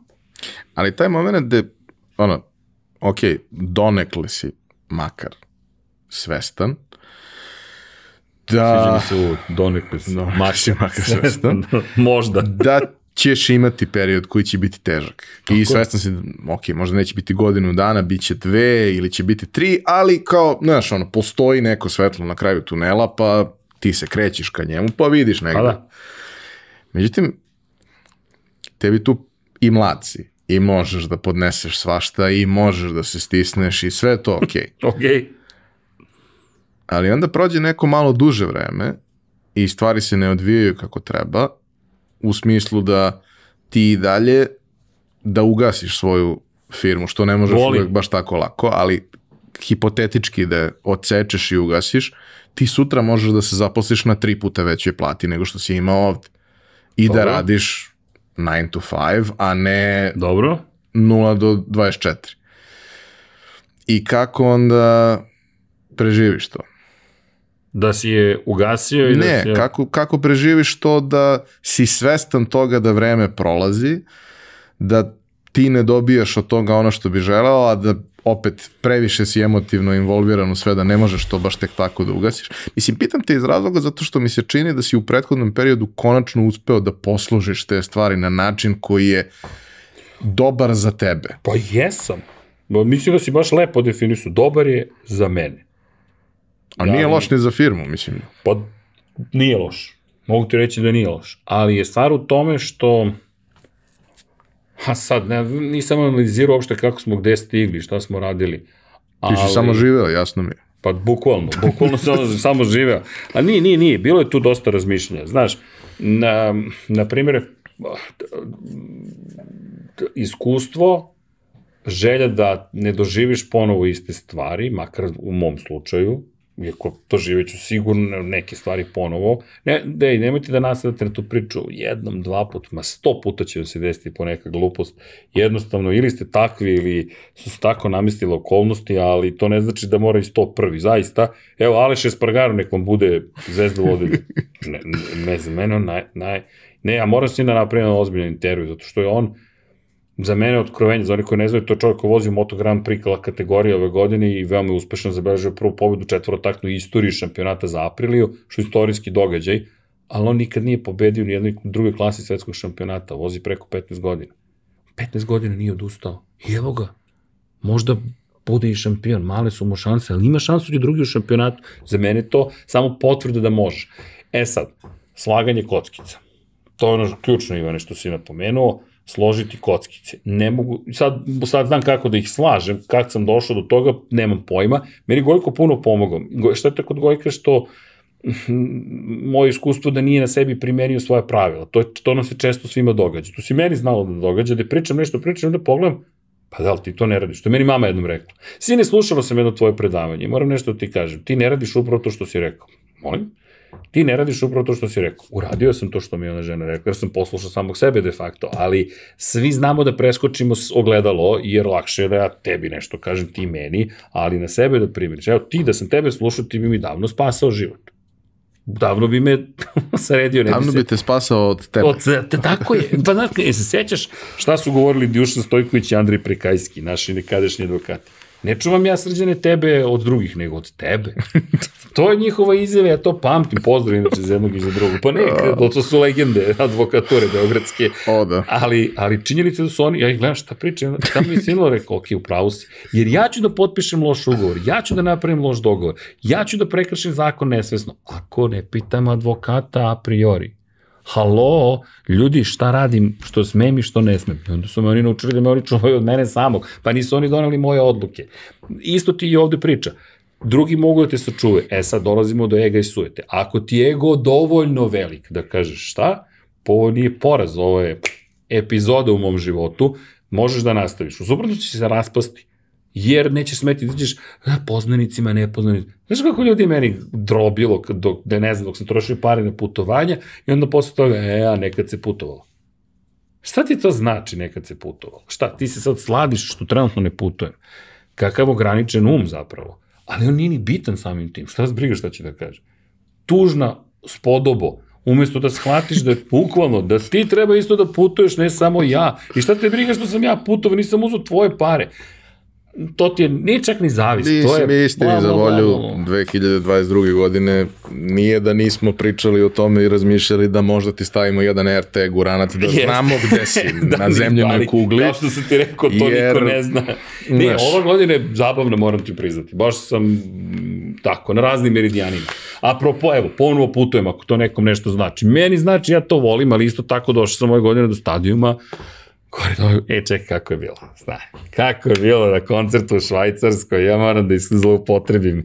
Inače, Švajcarska je lepa, čista, divna i tamo za život mm, bombonica. Ali, heavy metal koncerti na tribinama čudni su, zato što su toliko pristojni ljudi piše sedište. Ljudi sede i aplauz za Iron Man. Kako možemo da sedimo ljudi Iron Maiden je, aaa!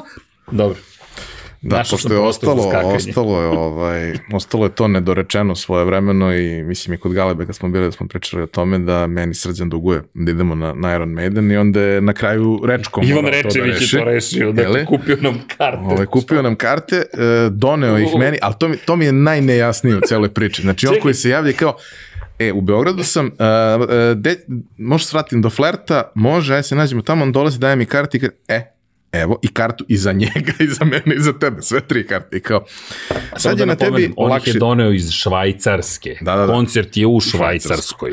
I kao, E, evo ti karte i sad je na tebi lakši deo posla da organizuješ srđana. Dobro, to je bilo zabavno. Mogu ja da kupim karte, ja sam, a da neko ja drugi organizuje srđana. Ja sam ceo grad promašio, pazi. Ti, ti treba da se nađem u Bazelu, ja sam kupio kartu za Cirih, zato što je koncert Bitno je da si ti došao. ja sam došao, kako nije ni bitno. Kad u Cirih, šta ćeš, tamo je koncert. Pa da li mi se nalazimo u Bazelu? E, okej. Okay. Ali dobro, ti si mi rekao da ćete biti u Bazelu, ali... Pa dobro, nebitno, bilo, Nevažno. je, bilo je svakako... Ali, poenta jeste, apropo, dobro vidi, ali to, apropo i putovanja i svega toga, šta ste da kažete? Ja sam kažem da se ljudi mnogo baje drugima i ako ne uspete, u redu je, vaša porodica jedino bitna, svi ostali su nevažni. A imaš, imaš taj moment, ono, svako od nas ima neki relativno mali broj vrlo bliskih ljudi. I Na kraju, šta god da. da uradiš sebi, na neki način sve što si uradio sebi si uradio i njima jer te oni vole, ali onog trenutka kad stvarno to što radiš počne da utiče na njihove živote, kad direktno njih involviraš u to i praviš njima problem, onda to baš Vreme nije je za razmišljanje. Uveliko onda. Jer vidi, a, evo izvini da te pitam, pitao si me kakav je osjećaj Št- šta je tačno bilo pitanje? Kakav je osjećaj kada... Pa kad shvatiš Da da, ono, da, da- da prolazi da vreme, pa ne, Ili da to nije da, to? da, možda će uspeti, ali, ali to nije ono što si hteo. Pa znaš šta, vreme da se to onda rešava. Vreme da se rešava. Na koji način? Ili zatvaraš, što je pakao sam po sebi, ali i to je jedno iskustvo. Ej, prvo zatvaranje firme, ja sam ih dve zatvorio. Znaš, jer mi smo mislili da kad ulaziš u novu poslovnu avanturu, da ne kažem venture, jel te, da ti da otvoriš novu firmu, potvoriš firmu. Zatvoriti agonije, ne, ne, polako, ali to isto moraš da prođeš. I u redu i da, da, da ne uspeš. Ja sam više za američki princip keep trying, nije evropski. A, evo, nisi uspeo, znali smo, vrati se u stado ili, nije stado, povlačim to, to je ružna reč. Ispade da su drugi stado zato što nisu svoje. Ne, ne, ne, izvinjavam se. Ne, vrati se u stroj. Vrati se u stroj. Ali, znaš šta sam takođe shvatio? Ni to nije istina. Ne postoji stroj.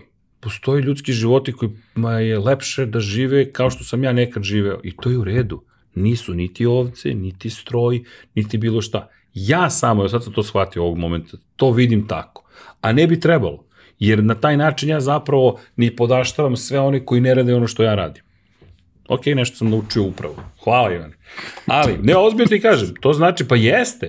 Vidi, a tako funkcioniše moja glava. Znaš, postoji stvari, sad sam shvatio da zapravo ja zašto nisam, evo sad sam shvatio zašto ja nisam odustao. Zato što nisam se vratim u nešto što je se meni činilo da je stroj. A da li je zaista stroj? Odem i završim i porodica mirna, cveća, i prosto to meni ne odgovara. Da, sad mi baš neprijatno zapravo, izvinjavam se. Ali dobro, to je rast i razvoj i spoznaje. E da, i to sam mislim htio da ti kažem. Moramo sledeći put da pričamo o mentalnom zdravlju. Da te zamolim. Ako ti nije problem da pričamo o mentalnom zdravlju, zato što je, shvatio sam, pošto često sam u poslednje vreme u gostima, u podcastima, u emisijama i tako dalje i pitaju me i za životno iskustvo i za mišljenje, niko me nije pitao kako je izgledao moj pakao. Lični, profesionalni pakao i kako sam ja to uopšte preživeo. I nisam nikakav heroj, ali su heroji svi koji su bili oko mene i koji su mi pomogli i imao sam ozbiljne psihičke rodolome, baš brodolome, kroz koje je baš bilo teško proći. A niko o tome ne priča, jer sve kao šala lala, sve turbo, kung fu i sve strava. Meni je uvek lepo, fakat. I kad je najteže, ja se trudim da, he, osmeh na lice, ajmo, idemo bitka. Ali veruj mi, bilo je dana kada je baš bilo pakleno. I treba ostati psihički stabilan. Imam i fizičko oštećenje od, ta, od životnog stila, tinnitus. Generalno, ti si dosta često imao te momente da nas uh, obavestiš ovaj, nekim zanimljivim snimkom iz bolnice ili nečeg sličnog. Nažalost, ali da. Da sad razmišljam zapravo, to, to niko, ne, niko ne priča o tome, a tome treba pričati. Ja mislim da ljudi koji su uspešni, ako ja spadam u tu grupu, ne pričaju o tome ili to ispada kao jeftina reklama, e, kako mi je bilo teško, ali ako kupite moju knjigu kako da budete bolji, taka, taka, taka, taka, taka, deći se ovo. Mada preporučujem jednu knjigu, pa eto. Ovaj, Autor sedi preko puta mene, svašta je pisao. Zapravo smo Naterao kroz, da playlistu da pravim. kroz pojačalo dosta ispričali priča o tim nekim trenucima u kojima su, ok, danas možda uspešni ljudi, jer mislim svi smo mi uspešni u nekom kontekstu. Pa da. da li želimo više od toga, to je, to je nešto drugo, ali svi smo mi uspešni ljudi iz, iz vizure onih koji, koji slušaju i gledaju, svi smo neko od koga može nešto da se nauči. Ono, ako ne mogu da budem um, ovaj, kako beš, ako ne mogu da budem pozitivan primjer, mogu da budem strašno upozorenje. Uh, Ok, ali jeste taj moment da, da je dosta ljudi zapravo delilo uh, svoje tragedije, lične, profesionalne i tako dalje i kako su to prolazili, kako su se iz toga izvukli. Ali ja nekako uvek volim i to je bio i pokušaj sa, sa današnjim epizodom, da kažemo o tome kako je do toga došlo, odnosno čega? šta, pa, geneza bolesti. Gre za bolest. O, Pa ne, mislim, e, da šta je pitaš. kontekst, znaš, ok, u tvom slučaju to će trajati nekih Ali- 100 epizoda podcasta, verovatno, kroz vreme. Da već trajamo sat i 26 minuta. A dobro, bože moj. Ovo, već trajemo Ne, meni ne već, smeta nego. već trajemo 8 i po sati po otprilike, sati, ali da. dobro. A, ali taj moment da prosto ni jedna od stvari koje su se desile, odnosno gotovo ni jedna, nije bila trenutna katastrofa. Nije udario grom i sve spalio, nego se desio niz stvari koje su akumuliranim efektom doveli do nečega Pa znaš, što je u nekom trenutku puklo. to je kao hipnoza. Ti hodaš kroz pakao, ali ono čuveno keep on walking. Ali zapravo to je potencijalno velika opasnost. Ne moraš da hodaš dalje. Možeš da kažeš, ej, dosta. Dosta. E, šta je mene držalo u jednom momentu? Ja nemam pojma da li je to istina, zato što nikoga nisam pitao ljudi s kojima sam sarađivao. A to je da li njima odgovara to kroz šta svi zajedno prolazimo. Ja često u početku sebi govorio, pa vidi, ima 10 zaposlenih ovde, 15, 20, ti si odgovoran za sve njih. Nisam siguran da je to istina. Zašto? Zato što prvo nikad nisam pitao njih da li sam ja odgovoran za njih, tako je to vrlo ružno iz moje perspektive prema njima, kao da su oni neka deca koje nemaju svoje mišljenje, što mislim da nisu. Možda će neko to da iskoristi zlopotrebi kako god da se tako postavi, ali nisu. Pa ih pitaš, ej ljudi, a vama odgovara ovo što se trenutno događa? Gde mi idemo kao kompanija? Smo mi zdravo preduzeće, zdravo okruženje? Je vama ovde? Okay? Ili samo uzimate platu dok ne nađete nešto bolje, što isto u redu. Da se razumemo, to, to je ljudski život. Ali, da li vam je bolje zato što ste ovde? Da li mislite da ćemo za godinu dana biti u nekom sistemu ovde, našem, u kojem radimo, zarađujemo, možemo da priuštimo sebi više, da imamo više slobodnog vremena, da budemo pametniji, da se osjećamo bolje, nikad ih nisam pitao. Nego sam ja podrazumevao, što ti je dosta tiranski stav zapravo, to, to ti rade državnici, jel te, pogotovo vrhovni vladari, svi smo mi deca. Ne, ne, nismo mi deca, ti si samo tiranin, ništa drugo.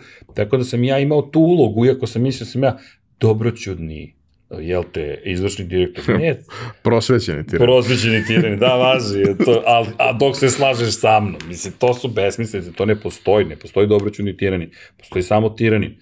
Ali je stvar u tome bila što nikad nisam pitao njih. I onda, pošto nisam njih pitao, ja sam projektovao da ja moram sada da firmu izvedem na pravi put, jer sam njima obećao da ćemo mi uspeti. Što je zamka u suštini. Samom sebi sam postavio zamku. Zamki iz koje nema izlaska jer će uvijek biti neko zaposlen. A pošto ti njih ne pitaš, postulat je postavljen, to ti je kao, kao, kao ustav. Ti si postavio am- preambulu iz koje nema izlaska i samim tim ti si u trajnoj zamci. Ja moram da nastavim. Zašto? V, a, šta bi to bilo? To ti viši ciljevi. Koji viši ciljevi? I onda osoba pored koje se budiš postaje nevažna. Jer imam viši cilj, ja moram da spasim 20 ljudi. Pazi, to je toliko ružno. I da stigneš na trku. Ili da stignu na trku. To je toliko ružno s moje strane. Upravo si 100%. To je zapravo s moje strane ružno, ali to, to me Gojko isto naučio, mi to dobrom čoveku. Znaš, misliš, mi da bismo funkcionisali, mi moramo da verujemo da smo dobri ljudi. Svako od nas. To je psihologija. I to imaš i u religijama, ta potreba da se bude dobar. Znaš, čak i kad znaš da si zao i da si, da izviniš, seronja, ti moraš da tražiš racionalizaciju svoj... Da opravdaš to. Tako je. I onda ja nisam uopšte shvatao da mogu da budem loš. Kako ja zapošljavam 10 ljudi? Ne zapošljavaš ih ti. Oni rade, oni su zaradili svoj novac, to su odrasli, zreli, pristojni, pošteni ljudi koji rade, a ti si im ponudio u okviru u kojem će da rade. S tim što, evo ti, sad sam shvatio da zapravo moje i dan danas postavka bila moj okvir je bolji zato što ti dajem slobodu. Pa možda je bolji nekom, možda nekom nije. Možda nekom više prije da ima vrlo jasno strukturiran život, u smislu ode u korporaciju i radi. To je samo moj problem. Sam shvatio sad kao, aha, čekaj, u stadu, stroj, zašto, to, zašto o tome razmišljam na taj način? To je, to je moja greška. Viš, ja moram sebe da izličim po tom pitanju. Jer time vređam 99,9% društva. Šta sad, ljudi koji rade u firmama 9 do 5, oni su lošiji od mene? Pa baš i nisu, naprotiv. a pogotovo što verujem duboko u humanizam, ali sam toliko besan na korporativne strukture da sam zapravo zaboravio da te korporacije čini ljudi. Znaš, tako da izvinjenje 99,9% populacije. Ali činjenica je da, znaš, i ono što sa čim treba se suočiti jesu ove stvari. Nemam pojma kad se to desi. Evo sad, sad mi se desilo, sam shvatio, u čekaj, ovo nisam ni shvatio da, da grešim. Biću, da, danas sam postao, nadam se, bolji čovjek. Hvala. Ali ozbiljno, ja se ne šalim, ovako izgleda proces.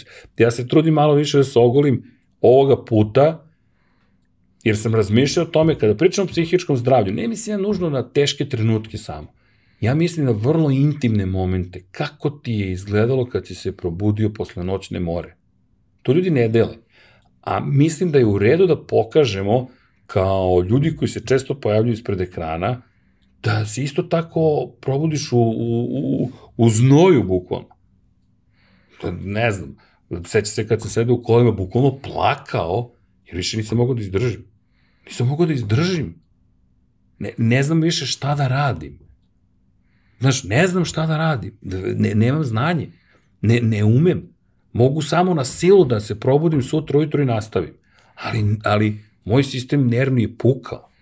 Pukao nema para, nema para u firmi, uh, neko pored mene strada bukvalno, ja ne znam kako da, da je pomogu, kako da doprem do njega, kako da je pomogu, pri čemu je ubeđim, ne, to je sve za naše dobro, bit će nam bolje. Kad će biti bolje, majke? Ne, ne znam. S prijateljima ne pričam, ne zato što neću, nemam kada da ih vidim. Drugo, što sam postao klasičan biznismen, neko me pita za mišljenje, ja mu ga dam, ali ko poslovnu analizu Znaš, nema one, saslušaš ga, ej, bit će sve u redu. Aha, to, sad ću ti ja kažem šta ti treba da radiš bolje u svom životu. Ja, no, niko ti to nije pitao, neko te zamolio samo da mu daš malo podrške, rame za plakanje i to je okej. Okay. Ali to su stvari koje ti se desi, makro su se meni desile, I zato sam i rekao sebi, moram tebi da kažem bilo kome da me zove, ljudi misle da treba pričati o psihičkom zdravlju. Zato što ljudi puknu psihički, budu oštećeni, nema potrebe. I mislim da možemo da pomognemo da budemo svi zajedno bolji. I isto mi je tako važno da znaju ljudi da nisam savršen. To mi je mnogo velika znaju, opasnost. Odlično. Znaju ljudi da nisam. To je super. Zato što, znaš, ta, ta, ne, te, ne ima tih momenta, ja super si ovo radio, super si ovo radio, super si ovo. Ljudi, šta, nisam super sve uradio. To je isto, meni se svidalo, ne znam sveća Jordan kad je pričao koliko sam trojki promašio. Nisam ja Jordan, ja sam mnogo manje od toga, ali sam isto i mnogo više od toga. Jer Jordan nikada neće biti srđan Ercik. I ne zna šta propušta. Možda, znaš, kao, pa da, Jordan je stvari sve, pa jeste, ali ko zna šta sam ja doživio što on nije. I ne mislim da se takmičem sa Michaelom Jordanom, vratno mi on sad rekao, sad ćemo da se takmičimo jer je takmičarskog duha. Samo hoću da vam kažem da je u redu da budemo ne manje uspešni, nego da nismo na istim uopšte, u istim sferama sa nekim ljudima koji su se bavili nekim javnim poslom.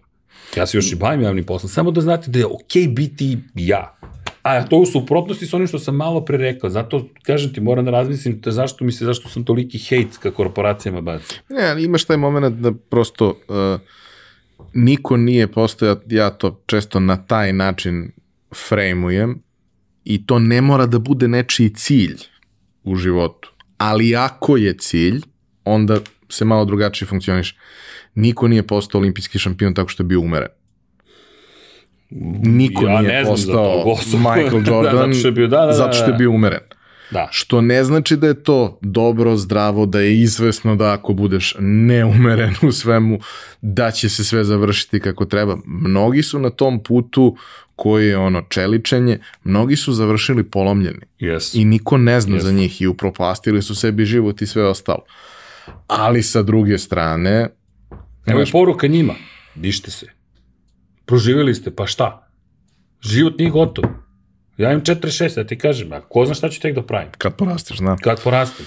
Izvini što ste prekinuo. Nije, ali, znaš, taj moment da kao, ok, ako hoćeš da budeš Novak Đoković, vrlo verovatno moraš da prođeš sličan put koji je prošao Novak Đoković. Da. Jer je to nešto što te je napravilo takvim. Be careful what you wish for.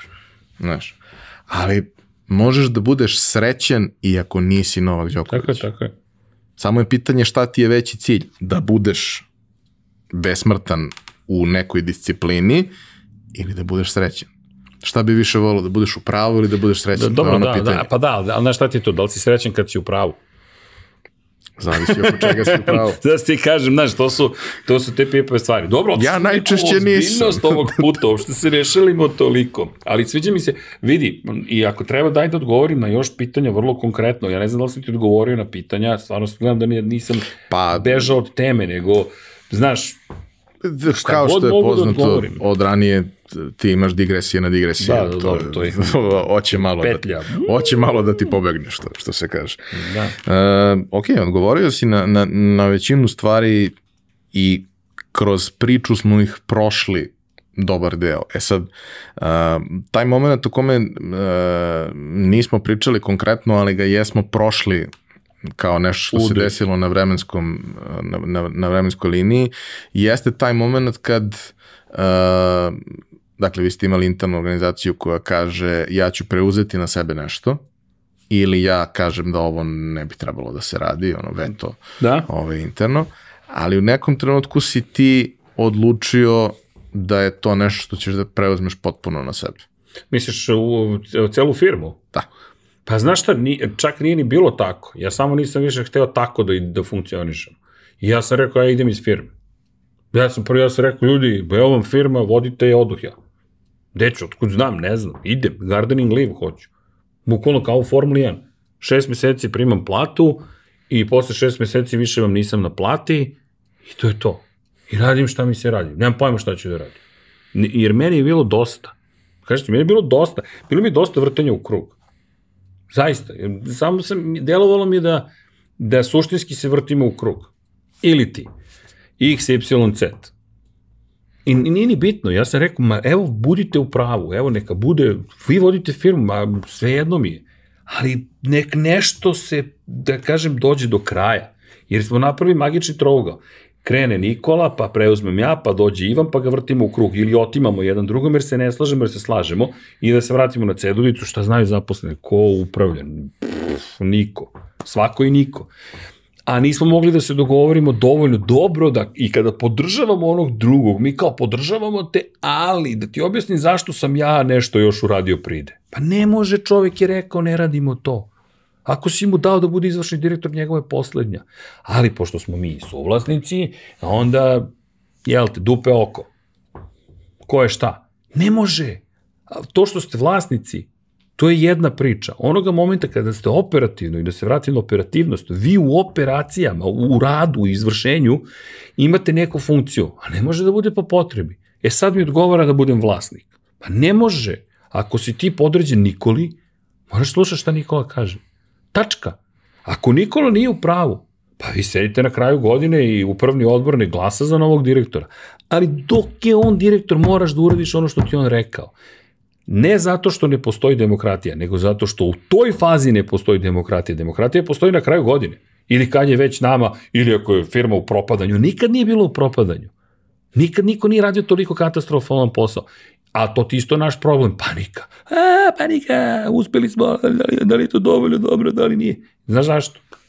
Nikad nismo bili uspešni u biznisu, nikad nismo imali biznis, mi ni ne znamo šta je uspeh i da li smo uspeli ili nismo. I onda mi uspevamo u nečemu, besmisleno uspevamo, ali mi to ne vidimo. Isto kao što sam spomenuo ljudi koji su imali prvi posao u Huge-u, nama je ovo prvo vođenje kompanijom, a nije bilo merila uspeha. U smislu, jasno ti je, ne znam, bilinzi, to jest koliko novca vrtiš ili ovo ili ono. Znaš, mi smo ni, i nismo bili agencija koja je mogla se porediti s drugima zato što smo mi izabrali neki put koji drugi nisu u, u tom trenutku. Ko se bavio Google? Niko se nije bavio ekskluzivno Google, pa je to preraslo u društvene mreže, pa u full servis, pa u ne znam nija šta, znaš, neki gigant, mamut, nemam pojma, a istovremeno ne radiš ono što većina radi banere, zakon banere. Šta ima da radim? HT to radi. Sve, da zovem, šta, šta će sad to radi? Idi u HT Pool. Ja mogu ja da ti tražim uslove od, od radeta i kompanije i to je to. Ali nismo uopšte hteli da ulazimo na to tržište, jer smo mislili da suviše truda para treba za nešto što ni ne poznajemo dovoljno i rekli smo nećemo. Ali nismo znali da li smo uspešni ili nismo. Verovatno smo bili i sigurno, u jednom trenutku smo imali Po nekim parametrima sigurno. Tako je, i u jednom momentu, pazi, mi smo upravljali sa preko 3 miliona evra budžeta u jednom momentu samo na Google. I ja ne, to je besmislena suma novca za, za ovo tržište u tom trenutku. Ja nemam pojma da li sad neko upravlja s toliko para. Stvarno ne znam, možda, verovatno, daj Bože. Ali mi smo upravljali, ali mi to nismo prepoznavali kao nešto, to jer, jer mi smo samo radili i to se dešavalo. Znaš, loši smo bili u samo procjeri, u samo analizi, kao menadžment. I? I ja sam rekao, ja oduh. I Nikola Ivan je rekao, rekao pa, ajde da, ne, ajde da se ne razilazimo. I onda je tu krenulo, ajde da, ajde ne. Ja sam rekao, ja neću više ovo. Prosto neću. Onda su njih dvojica rekli, ja nećemo ni mi. I onda sad niko više neće, ne znam, sad je onda pakao. Onda smo rekli, ok, šta ćemo da radimo, onda smo na kraju rekli, aj prodamo firmu. I onda nije ni bilo kupca, ja sam onda rekao, evo ja ću kupim firmu. Jer opet, kreten, mesto da sam pustio, ja sam rekao, ne mogu da pustim. Jer sad nema ni njih dvojice unutra. Znači, ne mogu da pustim i nisam pustio i drago mi je i žao mi je. Žao mi je zato što, to ti je opet razvojni put, ne, nije mi žao. Jer u tom momentu nisam znao kako da upravljam. Nisam znao bez njih da upravljam. A nisam znao koliko oni čine firmu dok nisu otišli. Razumeš? to ti je vrzino kolo, ne, nemaš iskustvo. Nemaš iskustvo, ali moraš da ga prođeš da bi ga stekao. Ne, ne znam drugačije, ja ne umem drugačije da naučim. Možda je neko pametniji, sigurno mnogo ljudi pa mnogo pametniji od mene, ali ja ne znam. Imaš i taj moment da kao kad, kad napraviš, ako to uradiš u pravom trenutku i na pravi način i tako dalje, da je svaki način izazovan u svakom slučaju, Ovaj, da vi zapravo nakon toga postanete mnogo bolji prijatelji nego što ste bili. Pa, to je kao onaj moment, ono, mislim, ja sam to sto puta rekao, mnogo više volim svoje roditelje od kad ne živimo zajedno. E, tako isto i ovo, od kad ne moraš da deliš svaki pakao i sve i niste 24 časa na okupu, imaš tu neku situaciju da možeš neopterećeno, slobodnije da ulaziš u, u tu vrstu odnosa. Da, ali nama nije bilo tako, zato što je nama Huge bio suviše intiman. Nama je Huge bio suviše intiman. Mi smo se posle toga razišli. Prosto suviše bio intiman. Nama je to bila porodica, što nije dobro, ali je to tako bilo. Nama je to bilo baš intimno. I ni ja nisam, ja sam samo rekao, ja ne, ja ne mogu, ja, ja ću da poludim. I još, i onda... Više, ja ću da, sam još da više. poludim više. Ne, onda, ti, onda ti tek dolazi ironija. Kad sam preuzeo, mi smo, ja sam otkupio kompaniju, otišli i kupili kompaniju. Gotovo, firma je sama kupila. Ja sam direktor izvršni, potpisao, otišao, podigao kredit, stavio menicu. Inače, čisto znaš koliko su oni divni ljudi, a i šašavi, oni su potpisali menice koje su ostali kad su izašli iz firme. Ne, ne, ne, ne, ne možeš da veruješ. Znaš, pa znaš kad smo bili na sudu, Ivan i ja, kasnili smo sa PDV-om, nismo imali pare na računu. ja sam bio u Čileu, Ivan je isto bio zakonski zastupnik i pošto ja nisam bio tu, u tom trenutku Ivan je smatrao da je on odgovoran za to što se desilo, što ima smisla, ali isto tako ja smatram da sam odgovoran, jer bez obzira gde sam, morao sam da organizujem bolje posao. I zakasnili smo jedan dan sa plaćanjem PDV i stigne nam, stigne nam poziv na sud privredni. Zašto? Da sad objasnim zašto mi kasnili sa plaćanjem PDV-a. I nas dvojica, obojica dolazimo, dolazimo se pozivu, ja sam dobio poziv, ne znam ko je dobio poziv kao kao, kao, iz, kao izvršni direktora i, i kompanija je dobila. Sad, jedan i drugi možemo kao predsednici kompanije da se pojavimo i ovaj drugi se pojavlja, ne znam da li on ili ja, kao čovek koji će biti verovatno kažnjen, jer moraš da kazniš direktora po zakonu i preduzeće. I sedimo pred sudijom za prekršaje i žena kaže, ok, šta se desilo? I sad nas dvojica objašnju, nismo imali prosto pare, mi se izvinjavamo, čim su legle pare mi smo platili i to je to. I kaže, no dobro, ko je odgovor? Ko je odgovorno lice? I kaže, ja sam. I sad, naravno, kao u kviskoteci, ja sam odgovor. I sad on gleda, zaista izgleda kao Muppet Show, bukvalno, nijaka, i Ivan kaže, ne, ne, ne, ne, jeste on odgovoran, ali ja sam bio tu, on nije bio u zemlji u tom trenutku, ja sam odgovoran. Žena ga gleda, ja kažem, rekao, hvala mom prijatelju Ivanu što želi da preuzme odgovornost, ali i vi ste svesni da sam ja odgovoran, jer bez obzira gde sam, ja sam morao bolje da organizujem posao. I sad, žena posle jednog šestog treba ping-pong između nas dvojice, kaže, će pa.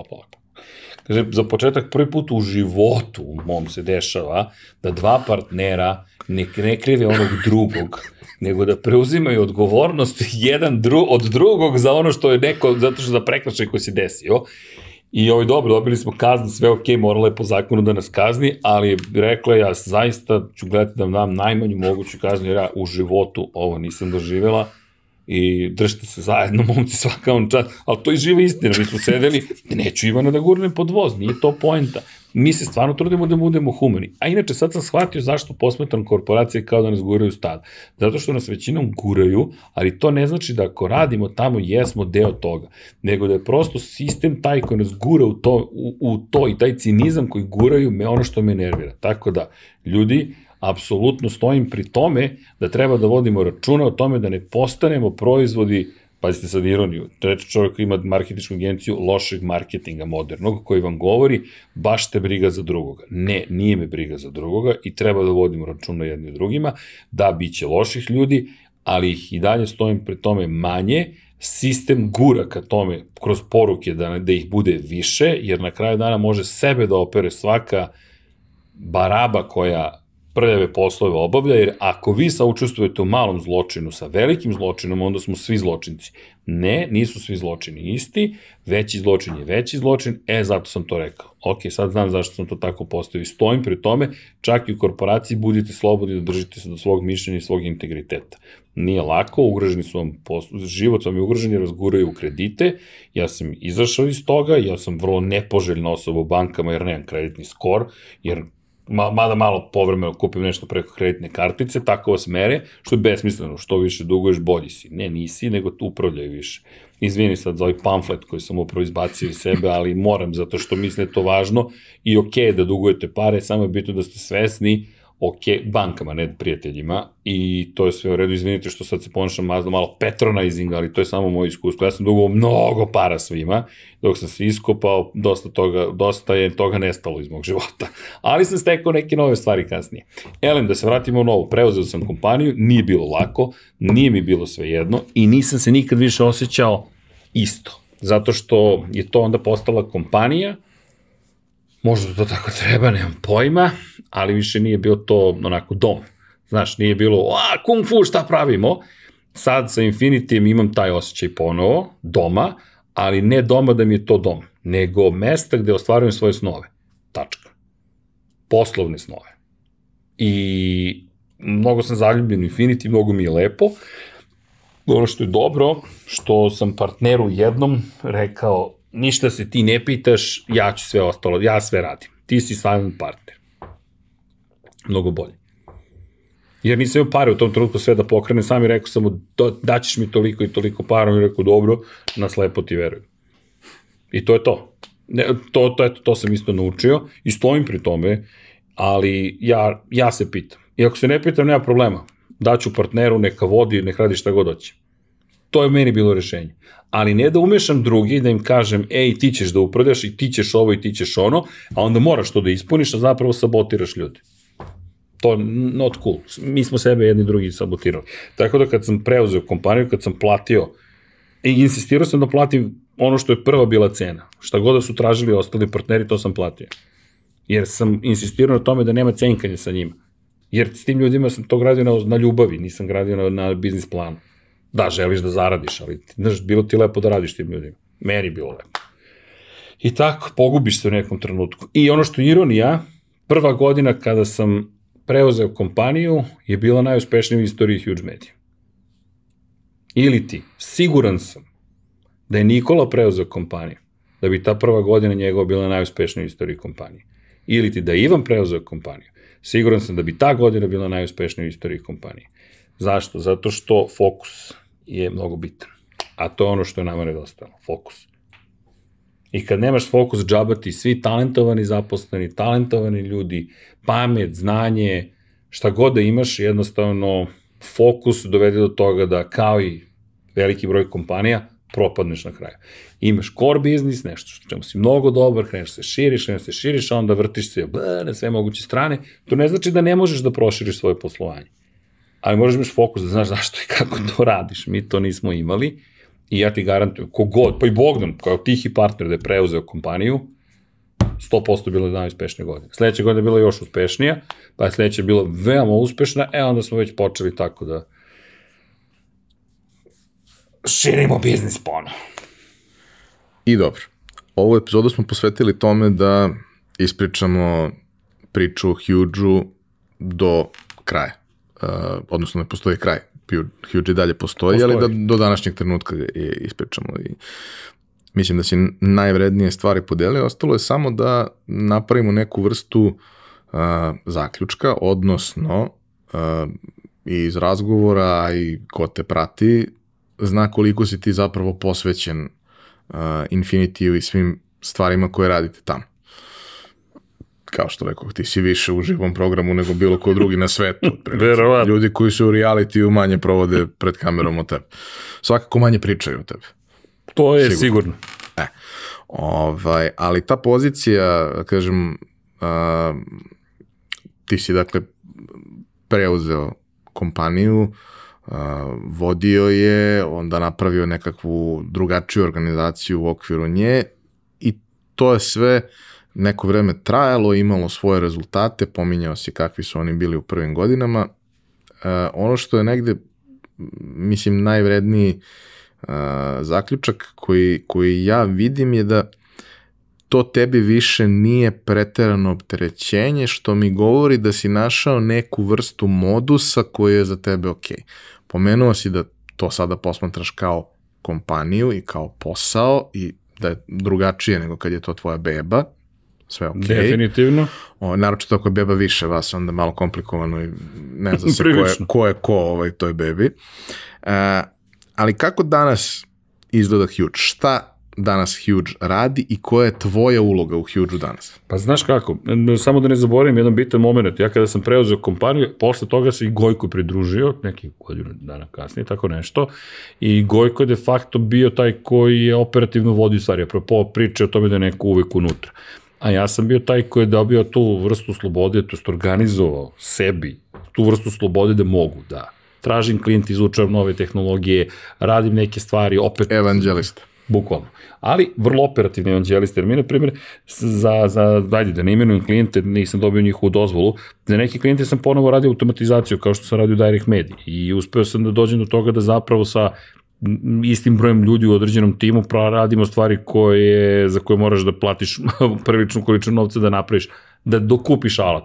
Ja sam hteo da napravim alat, jer mi je bilo to nekako bitno kao, kao dokaz da i dalje ja kao pojedinac, ali mi kao kompanija možemo da budemo brzi i inovativni dovoljno da uradimo neke stvari. Srđan Erceg, Excel programer. Tako je, Excel programer i to sam automatizovao spreadsheetove ponovo, zato što mi to najlakši interfejs. U suštini ljudi ne moraju ništa da uče, nego samo imaš skriptice i vozi a i dalje imaš slobodu ćelijama da radiš kao u Excelu. da, to, to, to je, da, da, to, to sam se smeo. Kaže moj brat, ba nisi ja programer, kaže jesi, jesi, samo ti je čudna platforma.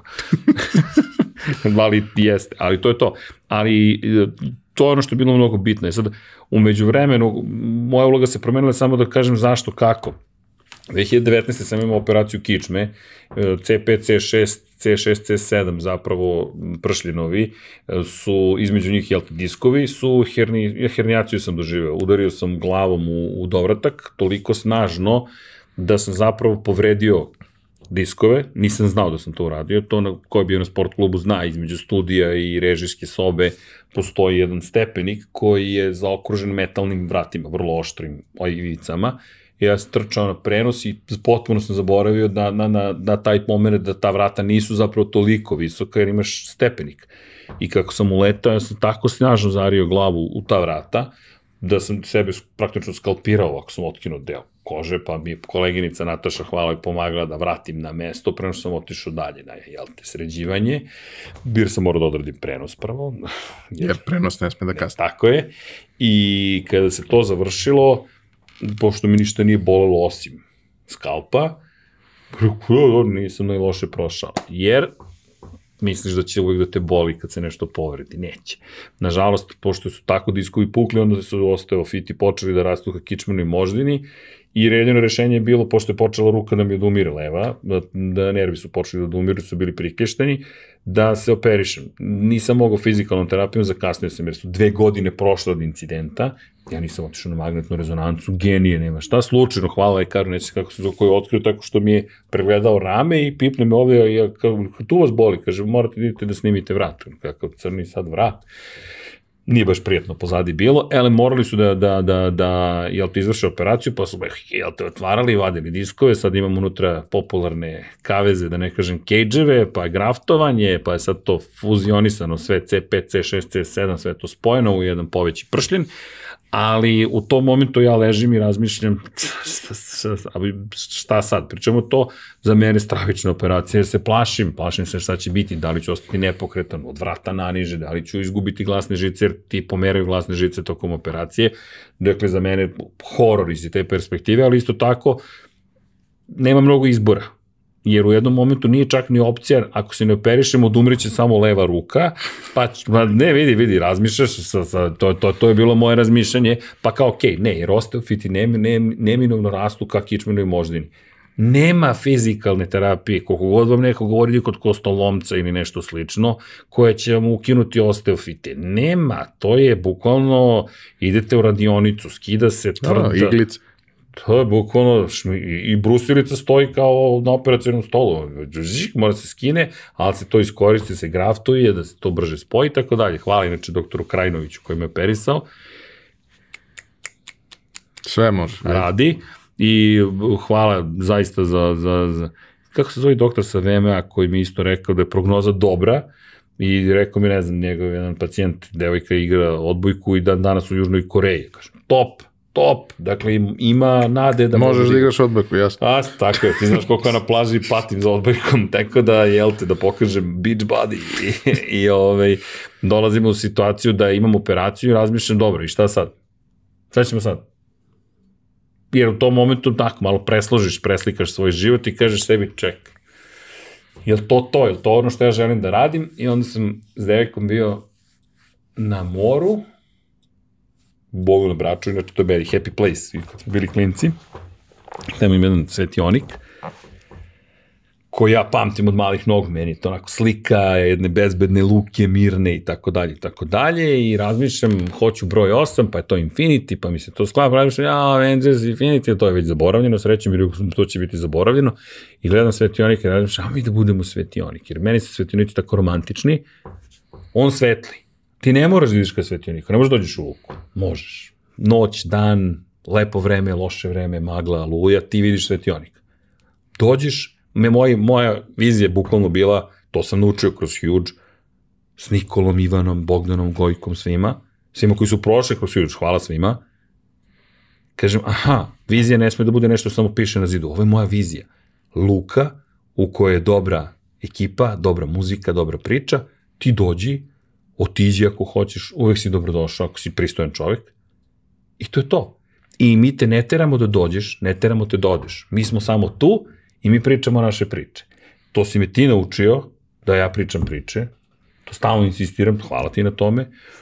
Kad si me zvao, sećaš se za blogomane, da pričaš o tome kako se pričaju najbolje priče. Što mene zoveš da pričam priče, ja sam komentator i onda ti kažeš, ne, ne, ti pričaš priče. Hvala. Ja nisam to imao pojma imam ja rupe u spoznajama i saznanjima, vrlo ozbiljne, ne neke očigledne stvari ne vidim, neočigledne vrlo jasno vidim. I imaš i te epifanije u podcastima. I, i imam, evo, sad mi, uh, spojilo se, ali, ali se meni to stvarno tako spoji, ja to zaista želim da, da ako nekom će pomoći da znaju ljudi da to tako izgleda u mom slučaju, zaista tako izgleda, u sred razgovora shvatim, aha, pogrešio sam. Mm, pa da, znaš, ali ne, ne krijem to da sam pogrešio, jer šta sad, ja, ja ako čak ako je sebično, ja ću biti bolji, a još ako mogu nekom da pomogne da samom sebi kaže čekaj, možeš da pogrešiš, prihvatiš, priznaš, napreduješ i budeš bolji, sve je okej. Okay. I u celoj toj priči gledam i razmišljam o svetioniku, tamo sedim letnji bioskop, letnji kino, popularno u bolu, tamo smo gledali Imperija zvrće udarac, znaš, na prekide. I onda pitam me, tata, je li ovo istina? Neću da otkrijem onima koji nisu gledali. I tata kaže, jeste, jeste sine, jeste. Elem, toga se sećam cijele te priče i onda meni to jednostavno bio moj happy place koji sam spakao u tu viziju i rekao, ne sme da ima moje ime, ne sme da bude lično, mora da bude veće od, od onoga ko to pokreće nego mora da bude neki ideal. I onda mi to bilo, bila slika. Nisam imao baš sliku da ćemo raditi podcaste, verujem, nisam predvideo COVID. Mi smo, ja sam planirao da radimo emisije, snimamo, pojavljujemo se. YouTube mi je bio izlaz, razmišljao sam o tome, aha, i možemo, vidi, pa vidi šta vi radite, ej, ljudi, fenomenalno, svaka čast. ko nije udario like and subscribe, odmah sad. Zašto? Zato što to pomaže ovim ovde divnim ljudima, algoritam onda njih pogura, više subscribera, onda Ivan može da pošalje oglašivačima, kaže evo da vidite koliko nas gledaju, prate i tako dalje, onda oni mogu da izdrže, da plate sve ovo što je iza kulisa, da svi dobiju plate, budu srećni, može zdravlja čovjek zaradi najzad nešto posle 20 godina Ne, preduzetništva, daj daj Bože nikome to, ali činjenice, to, to, to, su, to su te stvari i onda ti si stvorio zajednicu, svaka ti čast, ajde, nikad to nisam spomenuo javno, ali ništa radite sa pojačalom, respekt, svaka čast, ozbiljno. Ej, vidi, to su mnogo ozbiljne stvari. I to je lepota i u tom momentu ja otvaram neki novi univerzum sebi u kojem si ti već i ja nisam to tako gledao. Ti jesi već tu ti razumeš o čemu govorim. Ja kao, ajde, ići ćemo u tom smeru i tako je krenulo, ali onda kreće da uvlači, svi moji snovi se polako tu stvaraju i onda neki divni ljudi koji kažu, ej, ajde, doći ćemo. Pa ja došao, došao Deki Potkonjak, došao Jimmy, došao Miksa, Vanja je bio tu. I Rera, koja u tom momentu radi nešto drugo, završava svoj projekat i kako je slobodno, samo ajde da vam pomažem. Pixi, koji je bio moj prvi producent na Eurosportu. Pixi, Draga Stojković, nije onaj Pixi, ali ga zovu Pixi, koji, s kojim se nisam vidio deset i više godina, kog sretnim slučajno, kao, ej, Pixi, super, on bio nešto na trci MotoGP u Holandiji, neki kontakt stvorili, Pixi koji došao da nam pomaže, mi u sred COVID-a, sve, ono, karantin, mi u, do, u periodu kada smeš da se krećeš, trčimo u studio, pravimo ga, izmišljamo, nemamo pojma, on zove direktora fotografije tako dalje, tako dalje. Da sad ne otvaram tu priču, sve to je neki novi vrli svet, kreći potpuno ludilo, da se meni sad odjednom opet sve, ma šta, ja, šta možemo, ja, tehnologija, ja, i se igramo, automatizacija, ajde ovo, ajde ono, i tako to krene, a umeđu vremenu šta je s Hugeom, pa,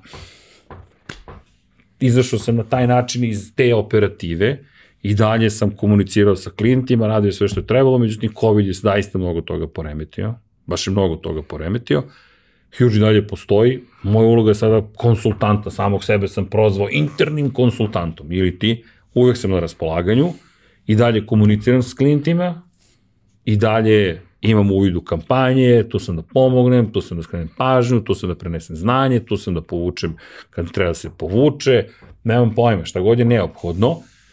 Prošle godine sam i vodio kompaniju tamo od januara do septembra, koliko ja smo se razišli, imali smo razmi, ozbiljna razmimoilaženja. Covid nam je baš ono, bio razmimoilazak, ja sam bio za ja sam beriš, on je, ne, on je, ja sam buliš, on je beriš, ali više nismo mogli da podnesemo jer je bila dobra kombinacija, držali smo se u ravnoteži, e onda COVID je doneo tu situaciju da sam ja bio, ne, sad idemo agresivno u napad, on je bio, ne, sad se potpuno povlačimo i pasivno čuvamo se dok ne prođe oluja, a ja sam u fazonu, idemo u oluju, i onda smo se prosto svako otišao nekim svojim putem, ja sam nastavio da vodim Huge, i ispolo je okej, okay, jer m, opet ver, ista priča kao i sa Nikolom, Ivanom i Bogdanom, da je Gojko rešio da on vodi na svoj način, to bi isto bilo okej, okay, zato što bi kompanija preživela na drugi način i razvila se na drugi način.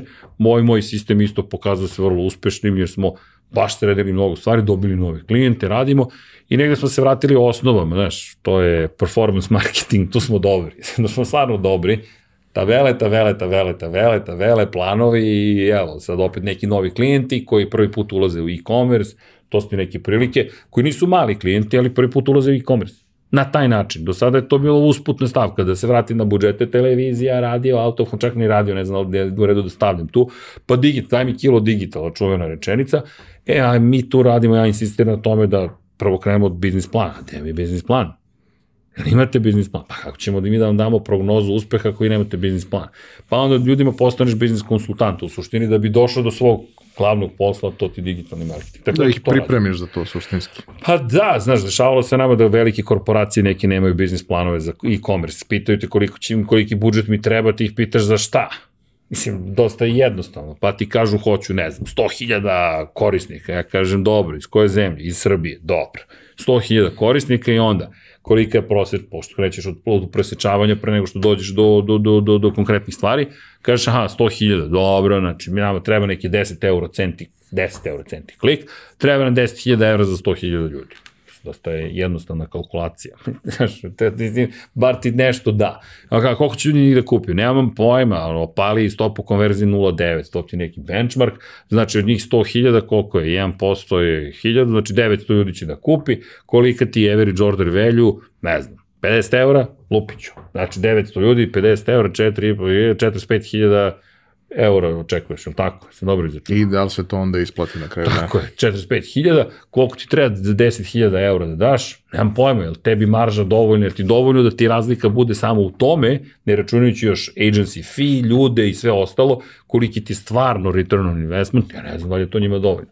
Ali im kažeš, daš 10.000 za Google, daš 1.500 evra za nas, daš prvo transparentno, sve u redu, Google, Facebook, šta god daje, I možemo i drugu igru da igramo. Ajde da podelimo naš fee, pa to je 50% ovoga što sam ti rekao, ali plaćaš 1% svog prometa sa Google nama. Znaš kako, mnogo klijenata to voli dok ne počneš da im praviš mnogo para. I onda, ovoliko da vam dam para, pa šta ti, Ja, kao, da li ti taj pravim moment, pare? ja sam verovao u sebe, bio sam spreman da idem sa nečim što je nepredvidljivo, ali zato što sam verovao u sebe sam išao sa tim i onda treba na neki način i oni da to ispoštuju. Ne, treba, ali vidi, znaš kako Da, to je. naravno. Mislim, Nije lako. Nije, ne, I to je sve okej, okay, ali kažem ti, meni je to i dalje kad je inteligentno postavljen biznis, ja nemam problem sa time, meni je to zadovoljstvo da radim, znaš, ali, fakat, trenutno su stvarno u ulozi konsultanta, pokušao prenesem znanje, ne znam da li sam ikada dovoljno dobro prenosio znanje, Brđa, poznat za Nikolu Brđevića, pa i Nikolu Đokića, Okića, Ivana Jankovića, Aleksandru Mirkanović, ne znam, sve ljude koji su tu bili, Zašto? Oni su me naučili da su oni sami na kraju morali da uče da plivaju. Jer kaže, Srki, s tobom imamo mesec dana. Posle mesec dana nema me, nema, i sad mogu da dobiju znanje od mene uvek, ali to će biti vrlo brzo. I pitanje koliko ti to možeš da pohvataš, obradiš, ne, ne znam. Ne, meni je to taj moment mi je super što kad imaš neku dobru osnovu, onda ti treba samo taj ono kratki ček za neki problem solving i to je super, Tako je. ali ta neka vrsta mentorisanja na duge staze Ja sa ne nekim kao što si ti je nemoguće. Ne, ja to stvarno zaista ne umem, nisam nikad uspeo u tome. Žao mi, izvinjam se svima koji su verovali da, da ću im pružiti tu vrstu mentorstva, a s druge strane, kažem, Nikola Eroga u Barceloni je, koji je rekao, Srki, da li si me naterao da razmišljam. Inače, da pohvalim, on je otišao isto u Barcelonu, čovjek je već sad već napredovao, jedan od glavnih ljudi u agenciji u, u sred Španije i rekao, ono što sam naučio u Huge meni otvorilo sva vrata.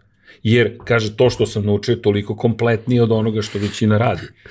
ali to je tako. Ni- Ja, To što si me naučio da se snalazim. između ostalog, ali nije samo to, vidi. I, i, I svi mi smo prenosili znanje kroz rad. Mnogo znanja. Znaš, jer svi misle da su videli biznis plan zato što je neko potpisao to kao biznis plan. Svi misle da su videli digitalnu marketičku strategiju zato što tu je potpisano kao digitalna marketička strategija, dok ne vide zaista digitalnu marketičku strategiju. To ti stojim na, mada sedim, sedim čvrsto na ovoj stolici kada kažem ja to znam da radim. I u tome sam veoma dobar. Ali ne mogu da te učim na način, ajde sada da ti objasnim, daj mi konkretnu situaciju, čak i izmisli situaciju, ja ću ti dati marketičku strategiju, daću ti biznis. No, ajde da radimo sve. na studiju slučaja. Tako je. Nemoj molim te, ti pričamo prazno. Ja tu ne, ne, nemam čak, čak moj mozak neće se aktivira. On odbija, to ti jednostavno, ovo nije istina. I kroz primere mislim da smo mnogo lepih stvari uradili. A Brđe je super zato što je on gurao neku inovativnost koju donosi ta nova generacija. Ja volim da radim s mladim ljudima. Ne razumem ih, često ne razumem ni mene, hvala Bogu, tako da se tu lepo snađemo, ali postoji ta želja za uspehom. I ono što sam video kod te ekipe ljudi, bila spremna za razgovor kritičan. Te možeš da kažeš ne, ne, direktno ste suprotstavljeni, nije lično. Nije lično. Cilj je samo da napravimo što bolju stvar za klijenta. Šta god to bilo. Tako da, kažete, sad sam u nekoj drugoj ulozi i potpuno sam posvećen Infinity-u, jer to mi je zaista, ne, to je više od strasti, znaš, to su stvarno moji snovi, jer, znaš kako, u, na televiziji, televizija je korporacija, televizija je veliki sistem, mi smo startup u medijskom Dobro, svetu. mislim, televizija ima svoj format, ima svoj Tako je. raspored, a ti se baš ne uklapaš dobro u raspored. Ne. Znaš, Osim kad ja izmišljam stvari. I ne samo ja, ja ću da podržim, te kad ti dođeš i izmisliš stvari, ja ću kažem, dobro, aj uradimo to i mi to uradimo. Nisam samo ja, neš, nije to samo ja idem pa smišljam. Ne, ne, ja prilično dobro hvatam informacije. I sad ti nešto izjaviš, ja ću kažem super, ajmo to da uradimo. Ja ću to da inkorporiram u Infinity, u Huge, u bilo šta. Možda je to najveća moja poslovna vrlina. Nemam problem ko je rekao, ja ću da insistiram i da se zna da je ta osoba rekla. Ja sam samo da se vratim oportunista. Aha, čuo sam nešto pametno, super, aj to da uguram u sistem. I to ti onda skup, to ti je ljudska civilizacija, to su i huge i sve ostalo, to su skupovi. Kažem, nemam ti, ti ljudski odnosi, nije na pitanje humanosti, da se trudim da budem dobar čovek, ali iz perspektive biznisa, možda sam previše agresivan, nemam pojma, sam, ajmo idemo odmah to, to ljudima ne prije, to, to uzdrmava svetove ljudima, to je, a, šta ti je, osjećamo ozbiljnu neurozu zato što tako funkcionišemo. Zato što ima jedan srđan Erceg i to je možda povremeno i suviše, ali većinu vremena je... Hitler i Rosija, hvala više nego dovoljno. ali Srđane, hvala što si podelio ovo. Sledeći hvala put, tebi. nadam se za manje od godinu dana, ćemo pričati o Infinitiju, jer to jeste najvažnija stvar u tvom pa, životu. U ovom trenutku da. Ovaj, poslovno, poslovno. poslovno. Uh, hvala vama što ste nas slušali, mislim četvrti deo Žitija Ercegovog. da, ja, ja se nadam da, da, da, da vredi, ne znam šta drugo da kažem. Četvrti od beskonačno. hvala. Ovaj, jer to je taj svetionik, beskonačan svetionik. Ovaj, hvala vam što ste nas slušali i gledali, kao i do sad sve komentare, sugestije na za to predviđeno mesto na YouTube-u to bi bilo to za ovu nedelju. Vidimo se ponovo naredne nedelje.